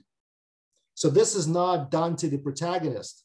This is Dante, the narrator, who steps out from the, from the story, essentially, and starts speaking to you, to you, the reader, directly. So this is a different Dante than the one that says, you know, we descended on the back of Geryon, et cetera, et cetera, et cetera, which is a basically just a regular first person narrative, which was very common, by the way, in, in classical literature and, and the literature of that time, when you just narrate from, from the first person. Uh, but this one is a little different, where the author now steps out and says, oh, reader. So now he's talking to you, the reader, you know, he's not a protagonist anymore. Then, of course, you have Dante, the historical person, who is figuring everywhere. And again, I just want to go tie it back to what Rosella was talking about with the different parties. So all of that is historical. That historical in that historical context, Dante is not the protagonist. He's not the narrator. He's the historical Dante that lived in that time. That's the third Dante that, that figures in the in, in the book. And the fourth one is the one that actually created everything, right? He's the creator of this of this work. So he's the actual author proper. And now we have to address all four of these different Dantes as they show up in, in the work. I want to just point that out. So as you read it, you might appreciate the kind of the, that interweaving of the different Dantes that you see in, in, in the work. Phil, can you can you list the four Dantes again? Yes, yes. So the first one is the protagonist, Dante, the protagonist, the actor, the one who goes down to hell with Virgil, etc. The second one is Dante, the narrator, when he steps out of his protagonist role and starts narrating and addressing the reader and saying, "Hey, pay attention," by the way, or etc. I mean, we've seen several times when he does this, uh, and this will continue happening, by the way, in, in Purgatory and, and so forth. Uh, then you have Dante, the uh, historical person, mm-hmm. right? Dante, who is involved in these political parties, and you know when when uh, Farinata makes predictions about Dante's future, that's predictions about Dante, the historical person, not Dante, who is particular, you know, participating in the hell. And then the last one is Dante, the the the poet, the creator of this poem, the one who laid out the cantos, the one who laid out everything else, the rhymes, etc. So that's the fourth one, uh, the one that we don't see, but that's implied, of course, in in, in the reading, uh, down to the the creator. So that's at least four. Now there may be more mm-hmm. than, than that. so thank you. Thank you, Phil. Phil, this was brilliant. It was just full of full of great points. I love, uh, and w- what we'll do is that uh, I'm listing these things as questions because I would like to see what people have to say, like uh, art as God's grandchild. What is the medieval mindset? What's this map? Um, then this four four Dantes and uh, the uh, also Doug's point about reading it as a story, mm-hmm. um, and uh, you know the the place, low place held for people who abuse language. right. So we'll we'll talk about uh, these are at least the questions that I have from. Then Christian had a point about mythology. Mike had a point about uh, Bible. So these are the questions that we will talk about when we come back. But folks, you will get a chance after the breakout rooms to put your own question down. So think of the questions. Uh, we're going to run the breakout rooms for 20 minutes. Uh, come back. You get to list all the questions that you have, just one question per person, the best one that you have. And then we will do a rapid fire answering of all the questions. Okay. Uh, basically, everybody is going to answer the question. It's going to be a lightning round. All right. Starting the breakout rooms now. Right. So maybe this question will be answered after we finish all three sections of the Divine Comedy. But uh, there's a constant tension for me for the protagonist to feel compassion for the suffering of the humanity that he beholds, some of whom are great people, some of whom are beloved teachers, you know, and, and this compassion is in conflict with the justice uh, and understanding the righteousness of this, the design of the universe. And I'd like to know how to reconcile those opposing tugs. I don't see them coming together. Excellent. Uh, thank you. So compassion and justice. Okay. Uh, next up is Beatrice. Beatrice is asking, why is Thais shamed? Okay, Thais shamed. Next up is Jason. Jason, what's your question? Well, my question is uh, uh, probably direct to Phillips. Uh, he, Phillips showed the river, uh, the, the river of the architecture, and where's the river this? Okay, I, I remember he mentioned it, and what is this? I, I just try to find it. Uh, what are the rivers in the architecture? The the river we show like four rivers, right? So, Okay. But I think they have another one. This Okay. L E T H E, right? And I, I remember in the text it mentioned. I just kind of cannot put in the whole Sure. architecture. Sorry, my Sure. question is very hard. That's fine. We, we were going to do a question answers just on the map. So we'll put it there. Next up is Vanessa. Vanessa, what's your question? Okay, I got a boring science question. As you get lower down, is the sand prevalent in those layers because it like absorbs the magnifying heat, like the reflection of the light can be hard to walk on, and then it's also brought up it's like not supportive of any plant life down there. You know, in the desert we have cactuses, but down there it seemed to be can't even hold a, a seed can't even find its root. Okay, uh, got it. So what grows, uh, you know, in the depths of hell? Okay, depths of hell. Okay, all right. Uh, who would like to go next? Uh, let's see. Anybody else? Okay, I'm going to put several questions that came up. Uh, so Phil or uh, Doug, would you like to put some questions on the table? Questions or answers? Uh, questions first. Oh, questions. Okay. I think the one that Christiane uh, asked a couple of times is Yes. why are there so many mythological elements? Sure. So I'm going to add all the questions that I have before. Uh, Joe, go ahead.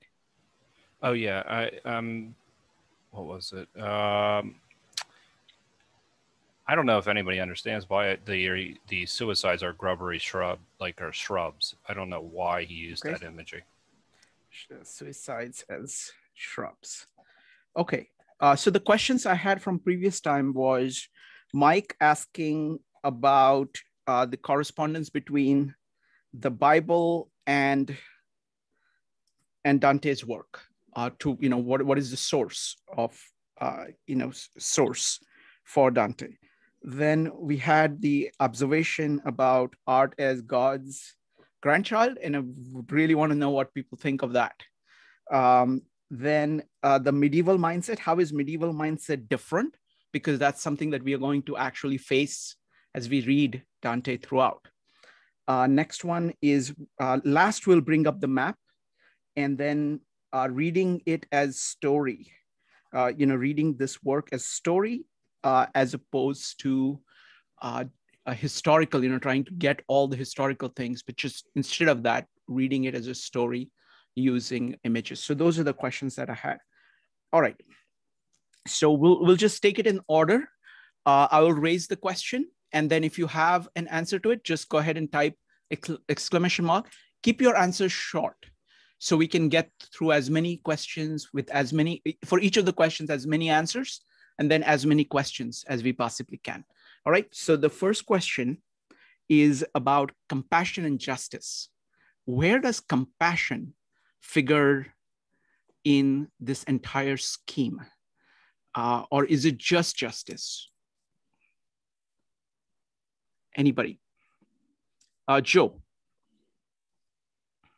This could be completely wrong, um, but I, I, feel like again that he shows compassion uh, towards uh, Brunetto, uh, and and and in almost because he sees himself kind of taking that same track, and uh, he was a student, and I, the even the idea that he was calling him a son, you know, that I think that there was a real uh, feeling of, you know, uh, he wanted to talk to him longer, but he had to go back to his group.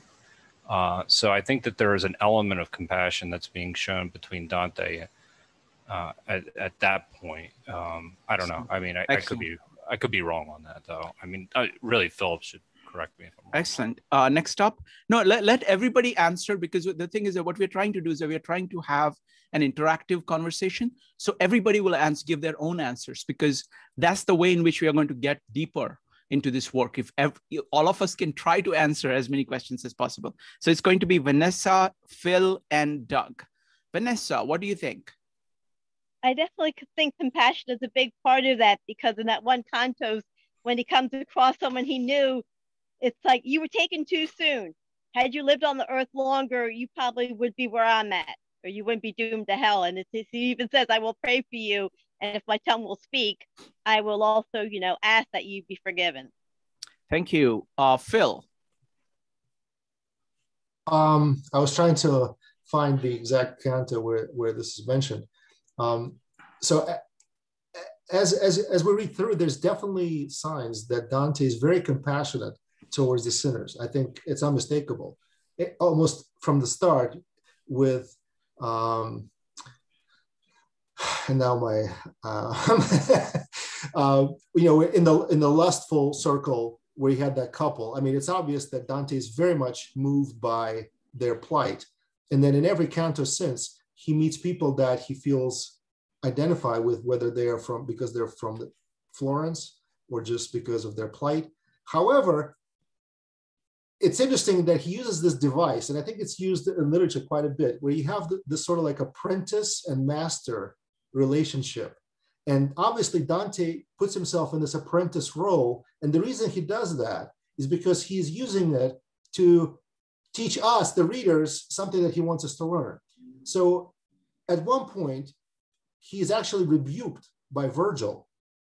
And Virgil tells him, he says, Hell is the place where pity is dead. I don't know if you remember that part, but it's a very striking passage. And that doesn't mean that Dante stops feeling compassion because he's not perfect. But Virgil's point is if you believe that the punishment is just, then there is no room really for compassion because that means if you if you feel compassion then then you feel something is not right here. And and yet i agree with people that are saying that there's this tension. I think there is the tension. And just because something is quote theologically correct that doesn't mean that in literature in poetry especially you have this sort of cut and dry um, you know right and wrong type of answer.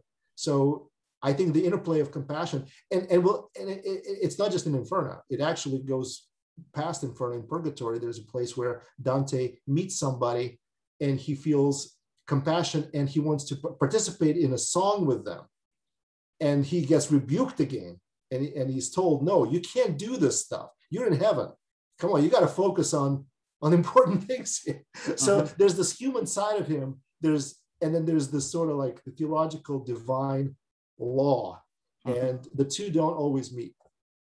Wonderful. Uh, thank you, Phil. Next up is Doug. Doug, what do you think? Uh, well, I think Dante feels compassion for some of the violence of the punishments, but Virgil often slaps him down for that. But the things he doesn't slap him down for is if love is some element in the sin, then there is compassion, and Virgil seems to authorize that as okay like his his desire, you know, with Brunetto and uh, Francesca, and there's always love seems to be even when it gets people in trouble to be the thing that arouses compassion in the storyline. Wonderful, wonderful. Um, okay, um, let's go to a couple of uh, very pointed questions. Uh, do you know why Thais was shamed? Does anybody want to answer that? uh, does anybody know what what the reference is? Well, I, I can I can sort of answer it. I do know the reference. So basically, there, there I think she is in the flatterer uh, circle, and uh, but the person that is mentioned there, Thais, is not the historical Thais. That's the uh, heroine of a play by um, I believe either Terence or State. I think it's Terence. Um, and in there, in that play, she plays uh, she uh, she plays a, a, a, person who is asked a question by her lover, and she flatters. She doesn't say the you know she doesn't say the truth. So that's the that's the person that's condemned. So what's condemned there is a dishonest answer, and uh, and the reason she's answering like this, of course, is because she wants to secure the services of this person who is her lover. She wants him to keep essentially supporting her, etc. So the point there is that's the reason. You flatter because you're trying to get something from the person. You're not being truthful about the you know your actual feelings. Wonderful. Thank you. Um, next question is vanessa's question. Uh, vanessa's uh, I, am going to try to paraphrase it. Vanessa correct me if i'm uh, getting this right. Uh, you're saying um, what is the depths of hell like is there there's no light there nothing grows there what what is the what is that like? What's no? Is, it was is that fair? the fact that, that sand was emphasized. Sand was brought up so much, you know, and that not even that being able to walk on it, like sand was came prevalent. Just like you know, you had the the ashes, well, the the snowflakes of uh, fire fluttering around. Got it. So what's what's your question? Well, just why was that like? I mean, that was kind of the main thing being described, except for the the snowflakes of fire and other mm-hmm. things was maybe more descriptive about the water, the trees, but they're just being it was sand and fire basically, sure. and nothing growing, and even the sure. air was sucked out. It seemed. Got it. So, uh, so the question would be, what is what do you think of the description of the the lowest rungs of hell? Any any comments? Any thoughts? You can go ahead and type exclamation mark.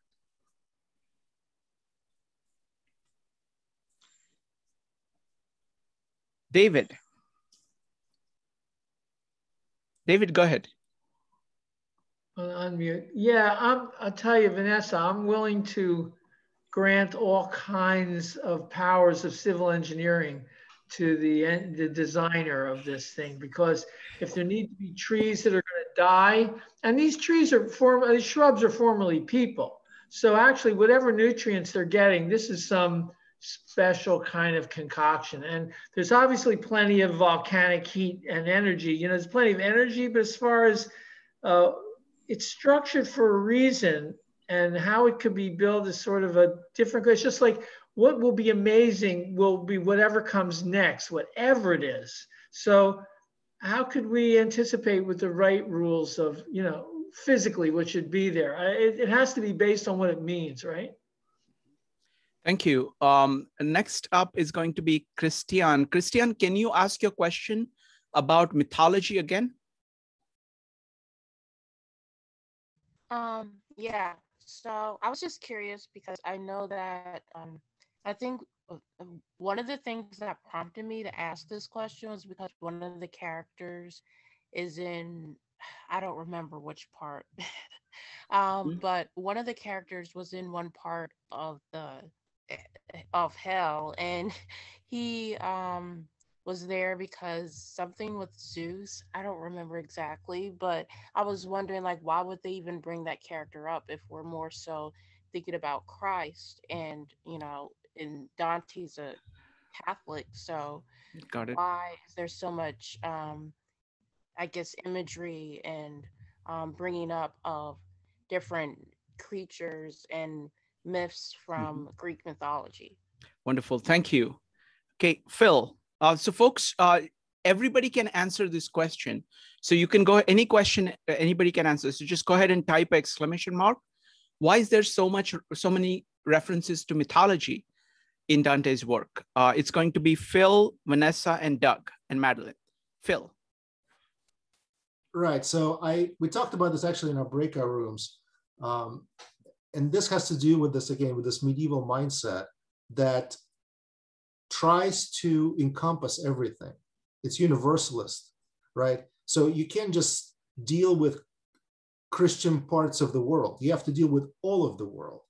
And so the task before Dante and then before really before Aquinas and some of the earlier church fathers was what do we do with the classical heritage? Do we throw it overboard or do we incorporate it somehow into the Christian worldview? And they all essentially in the Roman Catholic, uh, at least tradition, decided that it, it needed to be incorporated. And the way they incorporated is they said, this tradition actually prefigured the truth. So there is some truth to the idea there is a there's Zeus, the head god that rules over everything, and it really is a prefiguration of the real God. You know, not that Zeus was, you know, the Christian God, but it was a prefiguration essentially. And therefore, Dante can then take that and run with it. So he can take all of these classical mythological figures like Capaneus, for instance, who I think you're referring to, who is being arrogant towards Zeus and say, you know what, that's just arrogance against God, and therefore it's going to be punished. And we're going to use this story, which is familiar to a lot of people at that time, classical story, and it's much more powerful because you take things both from historical context, like he does, and from classical context. And it creates this uh, very diverse scenario where you, you are using examples from classical tradition, from Christian tradition, from historical tradition, and you're interweaving them into a single point that you're trying to make, which is either, you know, what, whether it's about blasphemers, I think that was the circle that we're dealing with, or something else. But that's that's the idea. Or you can take somebody like Minotaur, who is a you know a creature that has no Christian counterpart at all, but he is a scary looking beast. So you can make him part of hell and make him, you know, uh, a warden in hell. and so that's I think that's the uh, the answer. That I mean, part of it I think is probably poetic as well. It makes for a much more entertaining story if if you can incorporate all of these other traditions into your your viewpoint. Thank you, uh, Vanessa. Why does Dante use mythological references? Well, I think at one point he does it directly when he's talking about the sellout. The one he said you either uh, chose to go with Mars versus the Christian God and also sometimes he doesn't directly name it. I think the one scene Christian was referring to was the blacksmith. It's kind of implied about grabbing the lightning bolt. And one last thing about the Minotaur, as I'm reading that, it's almost implied it was a bastard child, you know, came unnaturally uh, in a cow's womb. You know, it's weird. Mm-hmm. You kind of read that maybe without giving all the background, like, that's kind of weird if a kid was reading that. But, you know, it makes you think and ponder versus just seeing the black and white and it causes you to pause and maybe mull it over in your mind. Thank you. Uh, thank you, uh, Vanessa. Next up is going to be Doug, Madeline, and Joe. Doug, why do you think? Um, I think some of it is what Philip said that the, the aspiration of the Catholic Church and the meaning of Catholic is inclusive, universal. Mm -hmm. You know, it, it embraces everything. And so there was a famous album in the 60s called Missa Luba, but it was a, a Catholic mass based on African music and, and using sort of local forms to express uh, express the teachings. And so I, I think that that attempt to integrate pagan, Jewish, and even you know Islamic teachings into the Catholic Church is really coming to a head with Dante and I just read something that uh, the dream of uh, Muhammad ascending to heaven may have influenced the story as well. And so if you can integrate, like Christmas wasn't a Christian holiday, but it was a popular pagan holiday, but the Catholic Church made it a Christian holiday to gather the energies into the, into the Catholic Church. And so it's that thing I mentioned in the first thing of, of churches being built on temple sites and, uh, uh and then being reused or later, you know, uh, different traditions take over a city and the holy sites they rebuild according to their teachings. But the Arabic libraries actually preserved more Western classical Greek and Roman writings than the West did, and they began to be re-imported during the Renaissance. So there was a big attempt in the early Renaissance through the whole Renaissance to even Christianize the Kabbalah and to, you know, and to take all these philosophical teachings and integrate them into Christianity. I think the Protestant movement was an attempt to purify and get rid of all that pagan stuff, get rid of Christmas, get rid of those sorts of. Uh, and Dickens, actually, even though he was not Catholic, really brought a lot of the pagan imagery back into Christmas Carol. But uh, that's part of it. Thank you. Thank you, Doug. Um, next up is Madeline, followed by Joe. Madeline. Yes, uh, thank you, Christian. It's a, a very rich question. Uh, to me, the um, part of the use of the mythology is that uh, it was a signifier for Dante in his personas three and four, himself as an historical person, political person, and also as creator of the work, because it was a signal that he was an educated man.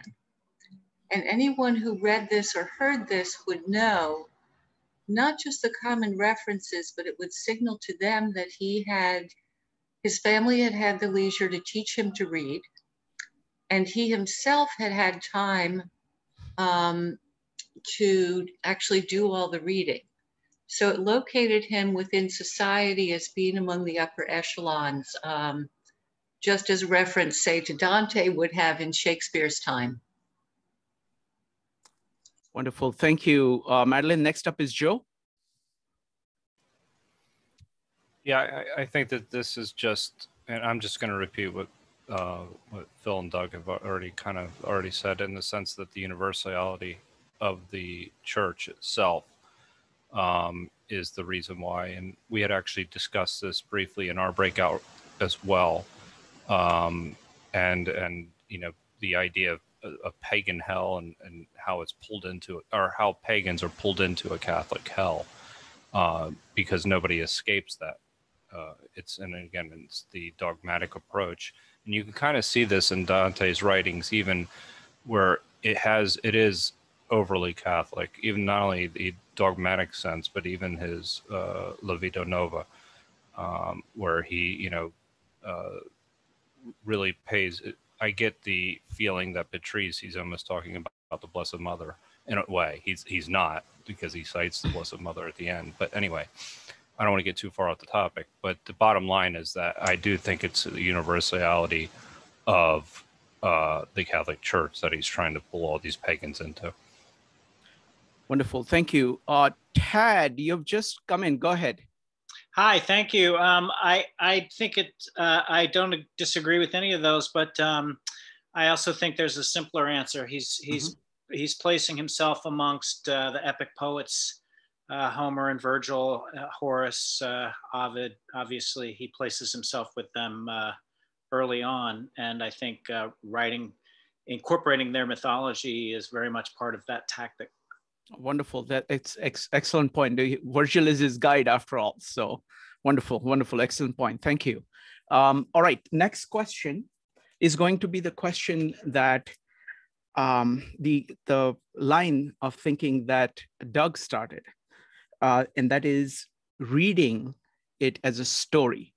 Um, I was wondering what people thought about that.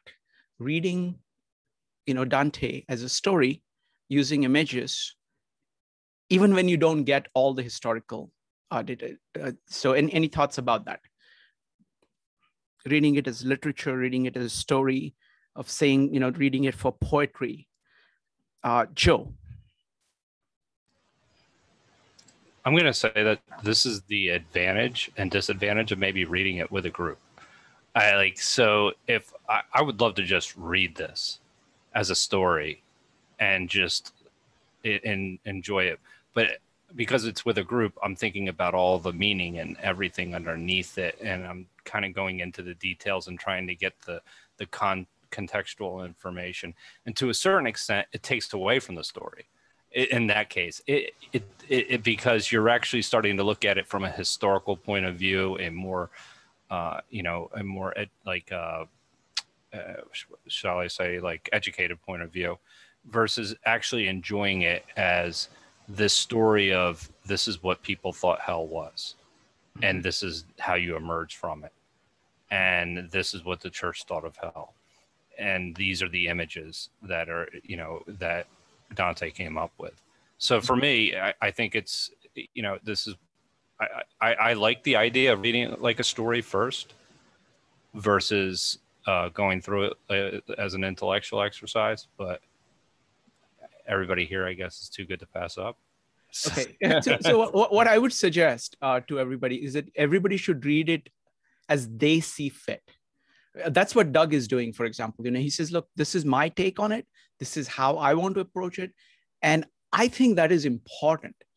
Um, and because what happens is that it's like you you have to individually commune with these great works of art. And that is that is very important because it depends on where you are what is important to you and you're going to approach it a certain way. And then come and you know when you're talking about your takeaways uh, in the beginning when you say what, what did you get out of it? You just talk about what your take is. If it is as a story then it is as a story. If it is whatever it is and you go ahead and speak it. And then you listen to other people because many times they will give you kind of the richness of context.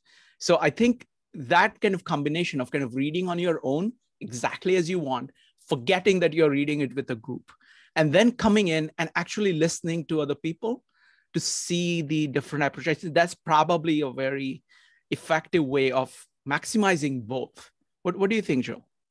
No, I appreciate you saying that because I, you know, the I'm trying to like kind of keep up, but I I I really like it just reading it as a story. Yeah, yeah, you should. Then you should just read it as a story, and then use these as supplemental things. Yeah, right. I mean, and this is great supplements, and they it doesn't, and then you can go back and continue reading it. Wonderful, wonderful. I Next appreciate up, it. I appreciate thank you. That. Uh, thank you, Joe. Next up is Vanessa, Beatrice, and Phil. Vanessa, what do you think, think about reading it as a story? Well, I kind of compare it to being like a spectator of a great performance, like a ballet or a symphony, or even listen to Rush uh, Italian opera where you don't know the language. It's like you actually experience it. And I kind of compare this to when I was reading Animal Farm in high school. I had to wait a minute. These are symbolic of real life people. You know, you kind of had that aha when you can compare and realize, okay, there's more symbolism versus just trying to entertain me. And sometimes, if you, like I said, if I'm trying to keep up with all these characters, you know, it's almost to the point if I don't recognize the name, just go to the next stanza. So I think you get more out of it versus trying to analyze it and like it's a textbook.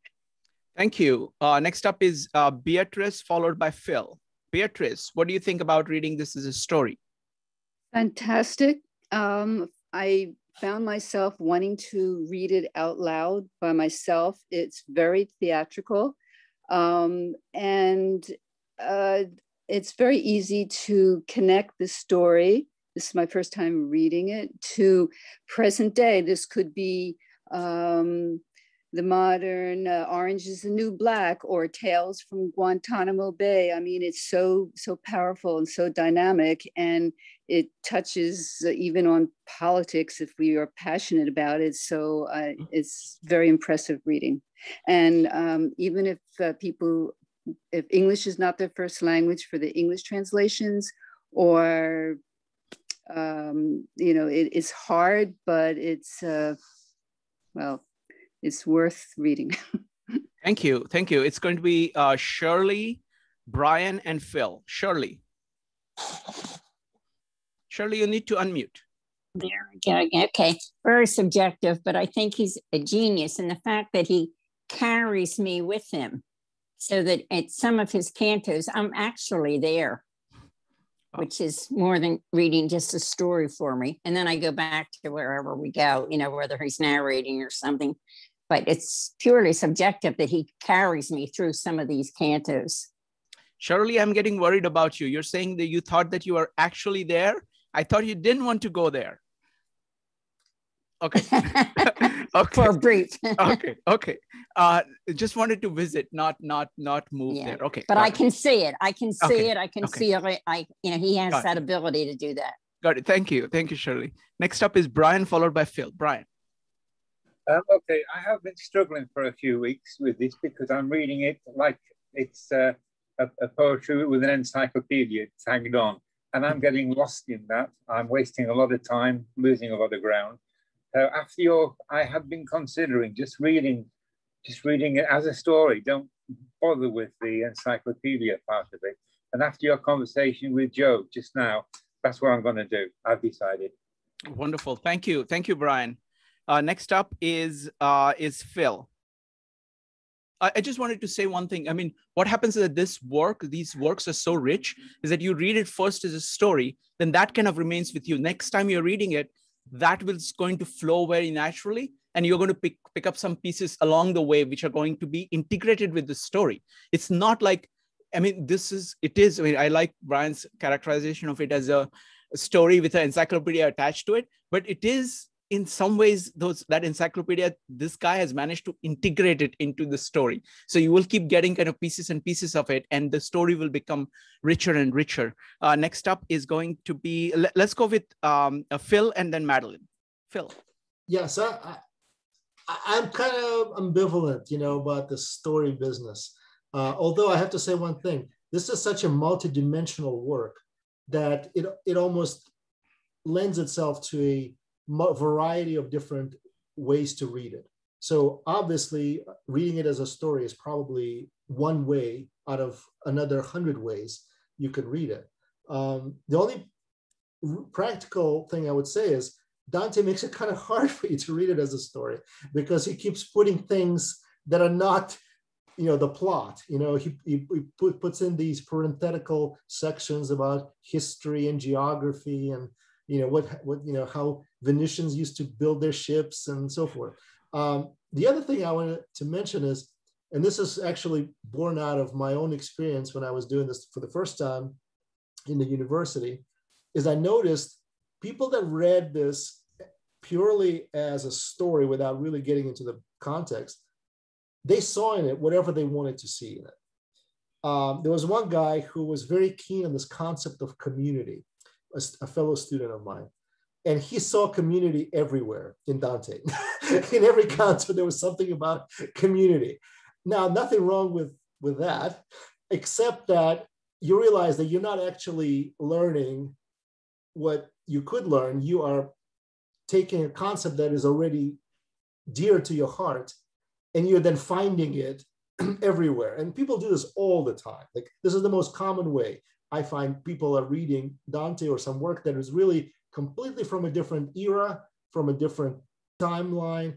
They'll they'll read it and they'll say, "Oh, by the way, here is like social justice," and I'm like a big social justice, you know, warrior. So I, I you know, I'll, I'll, I'll jump on that or some other some other theme that that you're a patron of, and so and that that is okay. I mean, that's one way to read it. But I would say that what I, I enjoy about reading works that are so far removed from our own experience is actually stepping into the shoes of that time and that because that is such a different worldview, such a different world, such a different time. I want to be transformed or transported, like like Shirley was saying. I want to be transported not to hell necessarily, but into the viewpoint of the author who thought of it like that and understand him. And that's that's my only sort of caveat about it. Um, uh, Phil, that was very articulately put. I mean, I think in medieval times, using the medieval terms, it would be the difference between, I'm not pronouncing this right, but exegesis versus eisegesis, right? Uh, that is really the heart of the difference, right? Um, yeah. It's basically trying to exegesis where you're trying to very closely read what is being said using the entire context. You know, what, what does this actually say? And that's what you're trying to do. Uh, eisegesis you're saying, okay, what is it that hits me? So it's a much more kind of subjectivist reading of it as opposed to this one. So, um, it, it, uh, Phil, does that make sense to you? This district? Yeah, it makes sense. Okay. Mm-hmm. All right. Uh, next up is going to be, let's see, Doug. No, sorry, sorry, Madeline followed by Doug. Madeline. Yes, um, I just wanted to put in uh, someone I believe in my breakout room had mentioned that they had read Dante many years ago and just had kind of been grinding their way through it, looking up every reference, every historical fact, all the people, everything. And so that this time when they read it, it was really a joy to read it as a story with all of that richness in mind. Wonderful, wonderful. So I just want to give you an analogy. Um, I face this when I read uh, Victor Hugo, who's one of my favorite probably all-time favorite uh, author. Uh, he writes amazing stories, but he has this habit of going and writing an essay in the middle of the story. So it's like everything is a cliffhanger, everything is hanging by, the, and then he will say, "What is the history of this place? Uh, how does it? How did it come to be?" So for the longest time, I used to skip that, but then uh, in the second reading, I would I would catch that, and it would actually add real meaning to that.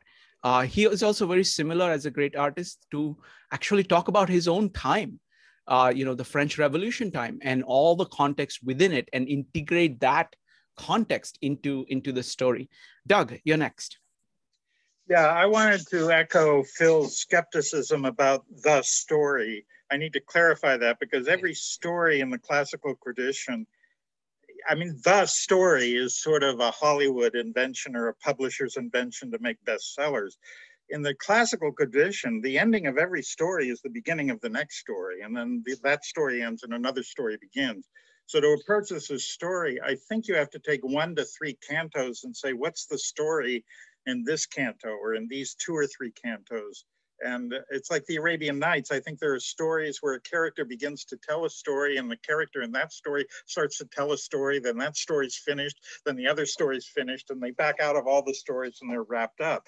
You know, uh, and the classical, they weren't these neat monuments, the masterwork story. They were they were all interconnected, and so I think that's. Uh, I'm glad uh, Phil expressed his skepticism about the story because I do too. They they don't exist aside from anything else. You know. Uh, excellent point. Yes, yeah. uh, excellent point, uh, Doug. Uh, so the next question is: uh, This is the observation. That this is the point that uh, Phil pulled out. You know, art as grandchild of God. So, any any thoughts about that? Doug, I want to go to you first. I want want you to I, I, you know, I'd kind of like to hear some other thoughts on it because I sure. don't know much about that tradition, but I really love it. You know, that uh, and because grandchildren love their grandparents more than their parents, I think that's a very interesting thing. that art may love God more than, you know, uh, closer and grandparents also love their grandchildren more than their right their, exactly. their, their children. So so i like the idea but i haven't wrapped my head around it. So i'm wonderful. more curious what other people make of it. Absolutely. So it's going to be david followed by prudence. David. Right this is just on the surface level. It makes a lot of sense because eh, you know if we're working in a christian tradition the first generations are pretty well taken care of. That's all locked up but if you're willing to flex a little bit and go to um, the, the, the, the more ancient traditions, you have the seven muses, and those are children of divinities. And it's saying we still rank expression in song and rhythm and verse. And these are still sacred to the tradition because communication and logos are important. And this the communication with the divine is super important. And we talked about how corrupting words is getting really close to corrupting, you know, the word of God, the name itself. So um, it makes a lot of sense to me, right? Wonderful. Uh, next up is Prudence. Prudence, go ahead. Uh, Prudence, you're on mute. You need to unmute yourself.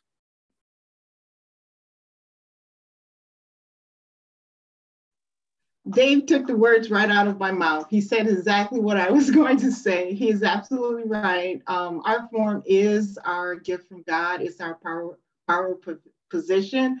Um, it dictates how we're going to um, um, encompass ourselves within this realm of the world and um, if we're going to come back again and how we're coming back again. So even if we die in sin, meaning that when we come back our second life, our third life, our fourth life, we're still going to have that uh, same power or that same art of um, of a work, meaning our body of work is what it is. It doesn't change. We never change or deviate from what our power, um, our gift was for God in its art. If we think about um, from a biblical sense, Jesus Christ was a carpenter, and that is artistic in itself. Um, you're building something from creative thought.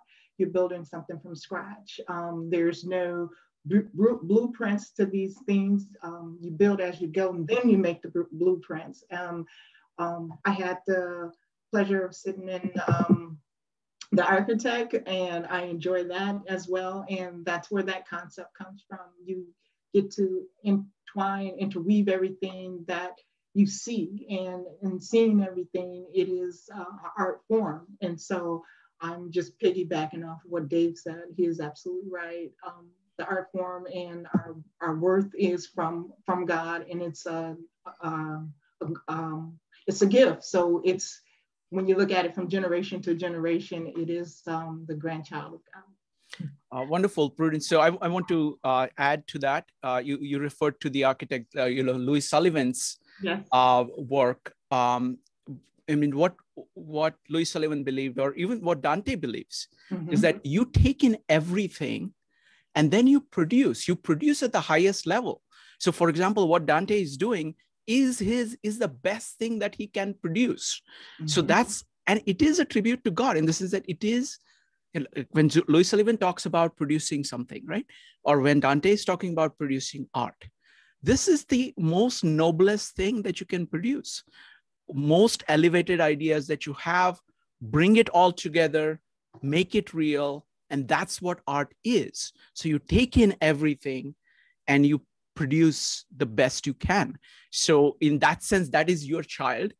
And because you are the child of God, that's mm-hmm. that's your grandchild. And the grandchild better look like the the, the granddad, you know.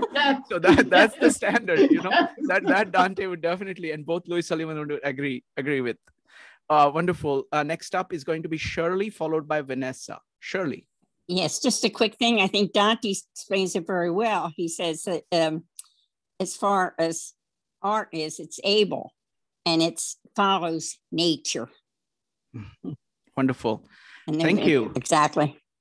Next up is Vanessa. Vanessa, what do you think about art being the grandchild of I can God? Definitely agree with that. And also, I'm trying to think like first generation. I think of that saying, you must first learn to crawl before you can walk and it also describes kind of like first generation nature and being inspired by maybe the divine intellect so if you kind of look at that maybe you know first generational then we're born from nature and then you know we're inspired by that to make our own artwork you wonderful. so we'll take last two questions. Uh, thank you. Thank you vanessa. We'll take last two questions uh, one by um, one which was raised by mike and then the last we will end with uh, the idea of the medieval mindset because that permeates this entire work. And if you you really need to understand what that is in order to fully appreciate it.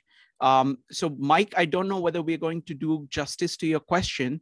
Your question was about what is you know dante's uh, comedy based on what what work is it bible is it some other version of it i don't know if there are people here. Uh, so anybody who wants to answer that, what is the base of that? Could you go ahead and type an exclamation mark in chat?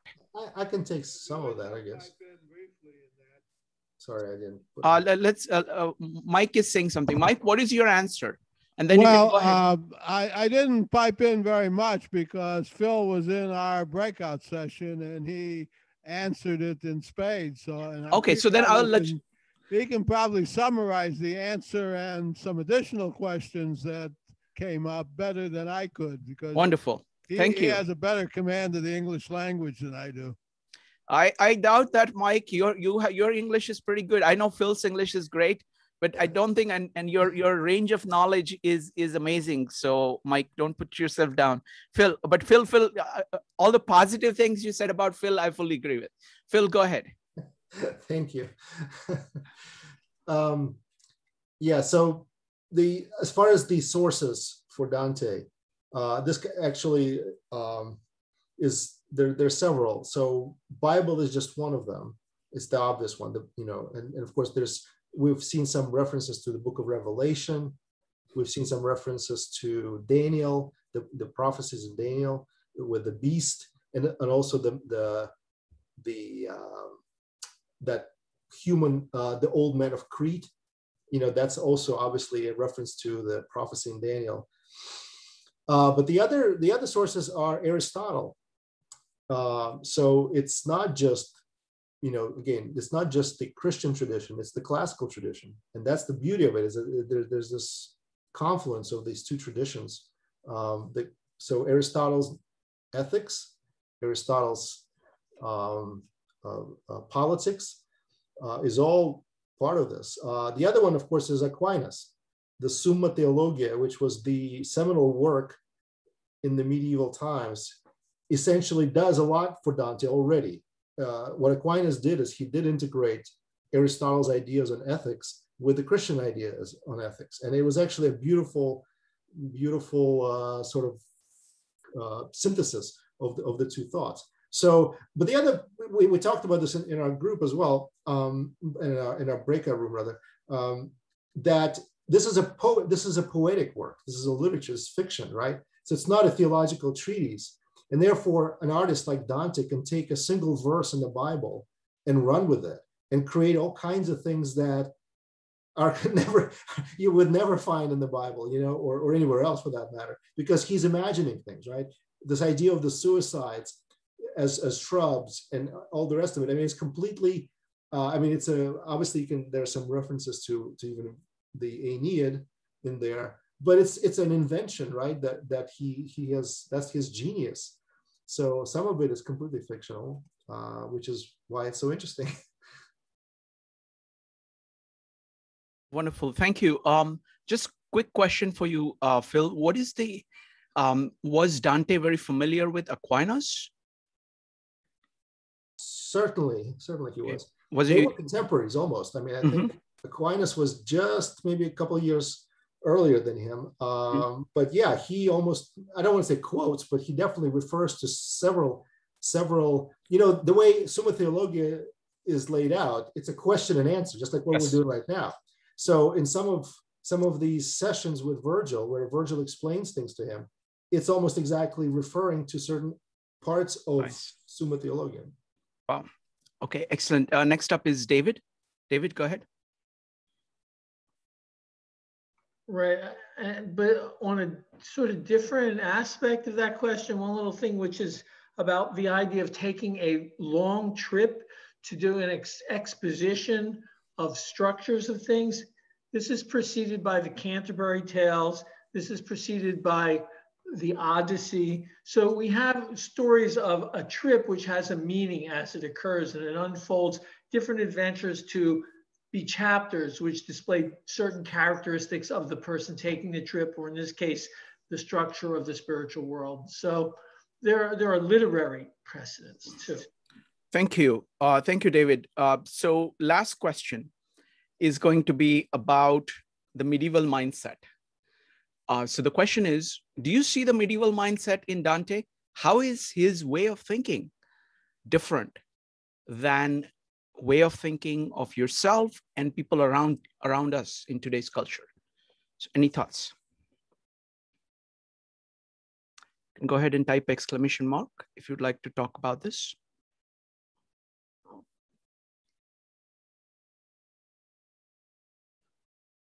Okay, I don't see any exclamation marks. So let's see. Um, so it's going to be Vanessa, and then would like uh, Doug and Phil to comment on it uh, if you have any any comments. Uh, Vanessa, go ahead. I definitely do see influence of the Middle Ages when it's talking about you know virtue and valor, and then that, um, one of the later cantos we read was talking about the coat of arms that were displayed. Mhm. So you see bits and pieces. If you've ever gone to you know the Renaissance fair or anything like that, you say, Mhm. "Oh, this is familiar." So I definitely see um, uh, reflections of it. Got it. Thank you. Thank you, Vanessa. Next up is Tad. Tad, go ahead. Hi, I, I think, um, I mean, particularly the cantos we're talking about. The thing, the thing that is really dis- distinctive about about this being of of its time is the the punitive nature of death, um, and how the death death is, um, you know, when when you when you get to, to Shakespeare's time, uh, all of a sudden death becomes all these different things, and there's so many so many new words for it, and so many ways of talking about the worms and the dust, and Mhm.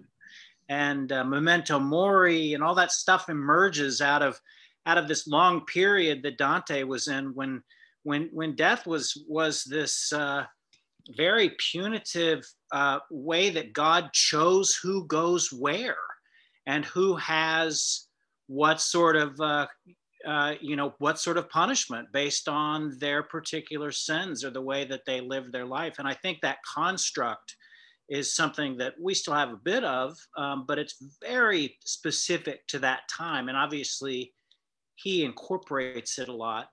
Uh, and the other thing that's that that really dominates his his way of thinking about that era has to do with the the uh, internecine battles between the Guelphs and the Ghibellines and the blacks and the whites and the uh, the sort of town to town infighting that's going on with these royal families and the, the Roman church. So I think I, to me, those are the things that are most distinctive of the era. Wonderful. Uh, Tad, looks like you're very familiar with Dante. I, I don't know about that, but I'm learning. Okay, wonderful, wonderful. Excellent. Thank you, Ted. Great, great observations. Uh, next up is going to be Mike, and then Doug and Phil. Mike. One of the things that I think has already been mentioned, but uh, the Crusades were going on uh, approximately the same time, and um, bishops and cardinals and uh, local parish priests were offering absolution for the most heinous sins if you would go on the Crusades. And so the thought of uh, how you'd burn in hell was uh, uh in, in, in the minds of a lot of people at that time. Mm-hmm. Uh, thank you. Uh, Doug, do you have any thoughts about the medieval mindset here? Yeah, I have a question about the idea of the medieval mindset because the more I try to research into it, it's a, depending on what country you're in, it's a very, very different and varied period and much richer than we imagine it as the Dark Ages. There's a history of science um, from the teaching company called I think the history of science from antiquity to 1700 by Lawrence Principe or something. It's very interesting. He describes a mural that's, I think, a medieval mural, and it's scholars and priests arguing ferociously in this mural, very actively engaged in debate. And that's not an image we have of the medieval period where everything's sort of holy. Uh, and so I think there are many medieval mindsets. For 4 mm-hmm. or 500 years in Spain, there was a blending of Islamic, Christian, and Jewish music, mysticism, poetry that was very fruitful that didn't enter the rest of Europe until the Renaissance is sort of mm-hmm. when it started to come in, while they were throwing the Jews and Moors out of Spain. Mm-hmm.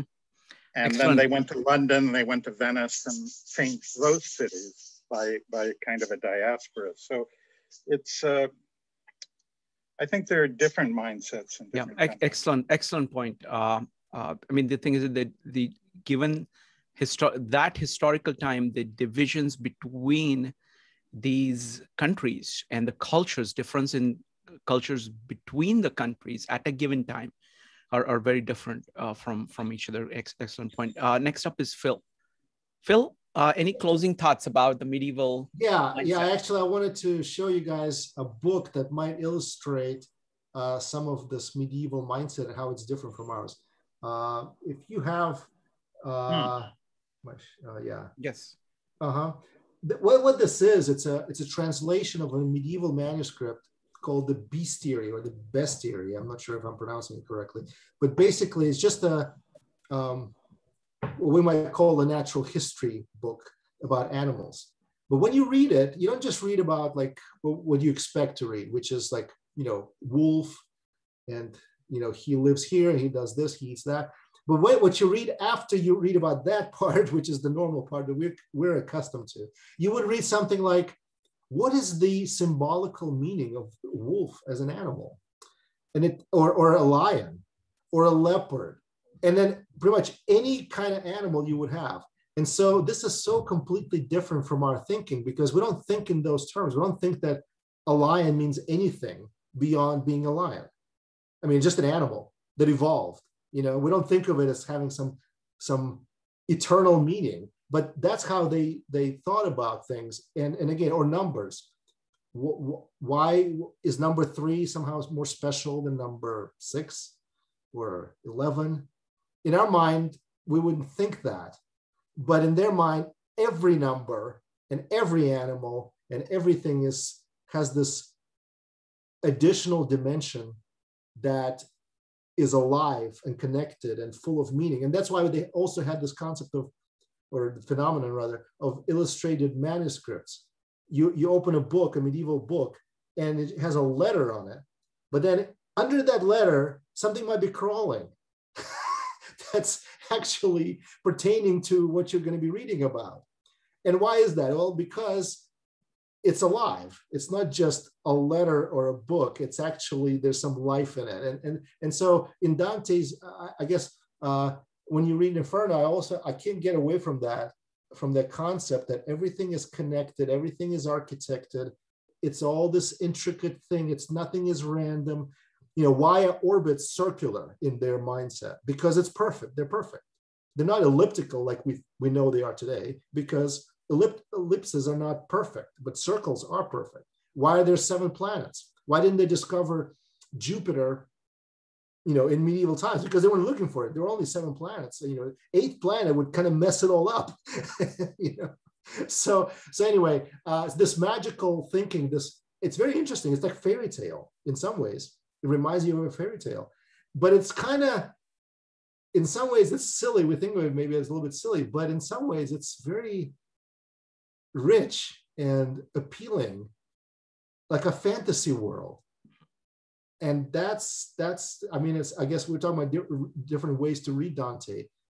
It's a way to almost like jog your imagination because we don't we don't do that very often. We're so rational and mm-hmm. so you know down to earth. But in Dante, it's all magical. You have all these you know trees that are suicides, and they're all like you break off a branch and instead of you know, something magical happens then you have fire raining from heaven and you know things that just don't happen wonderful uh, phil um, you know rosella doug and you did a fantastic job today and i think uh, everybody lo- looks like lots of people are reading it and i love the commentary but phil especially uh, today you know you, your observations were just incredible at many many different levels so really really appreciate that uh, thank, uh, thank you. you. Thank you very much. And folks, uh, next one is going to be about a month from now. We're going to announce it. Uh, it, it should be there on the web page already. So you can go ahead and uh, and check it out. We'll we'll go ahead and uh, do you know, uh, Phil, which cantos we'll be covering? I think we're, we're going to to the end. Okay. so it's okay. 30, 20, 24 onwards. 34. Yeah, 24 to the end. Okay, of yeah. Inferno. Okay. All right, folks. So thank you very much, and we will see you soon.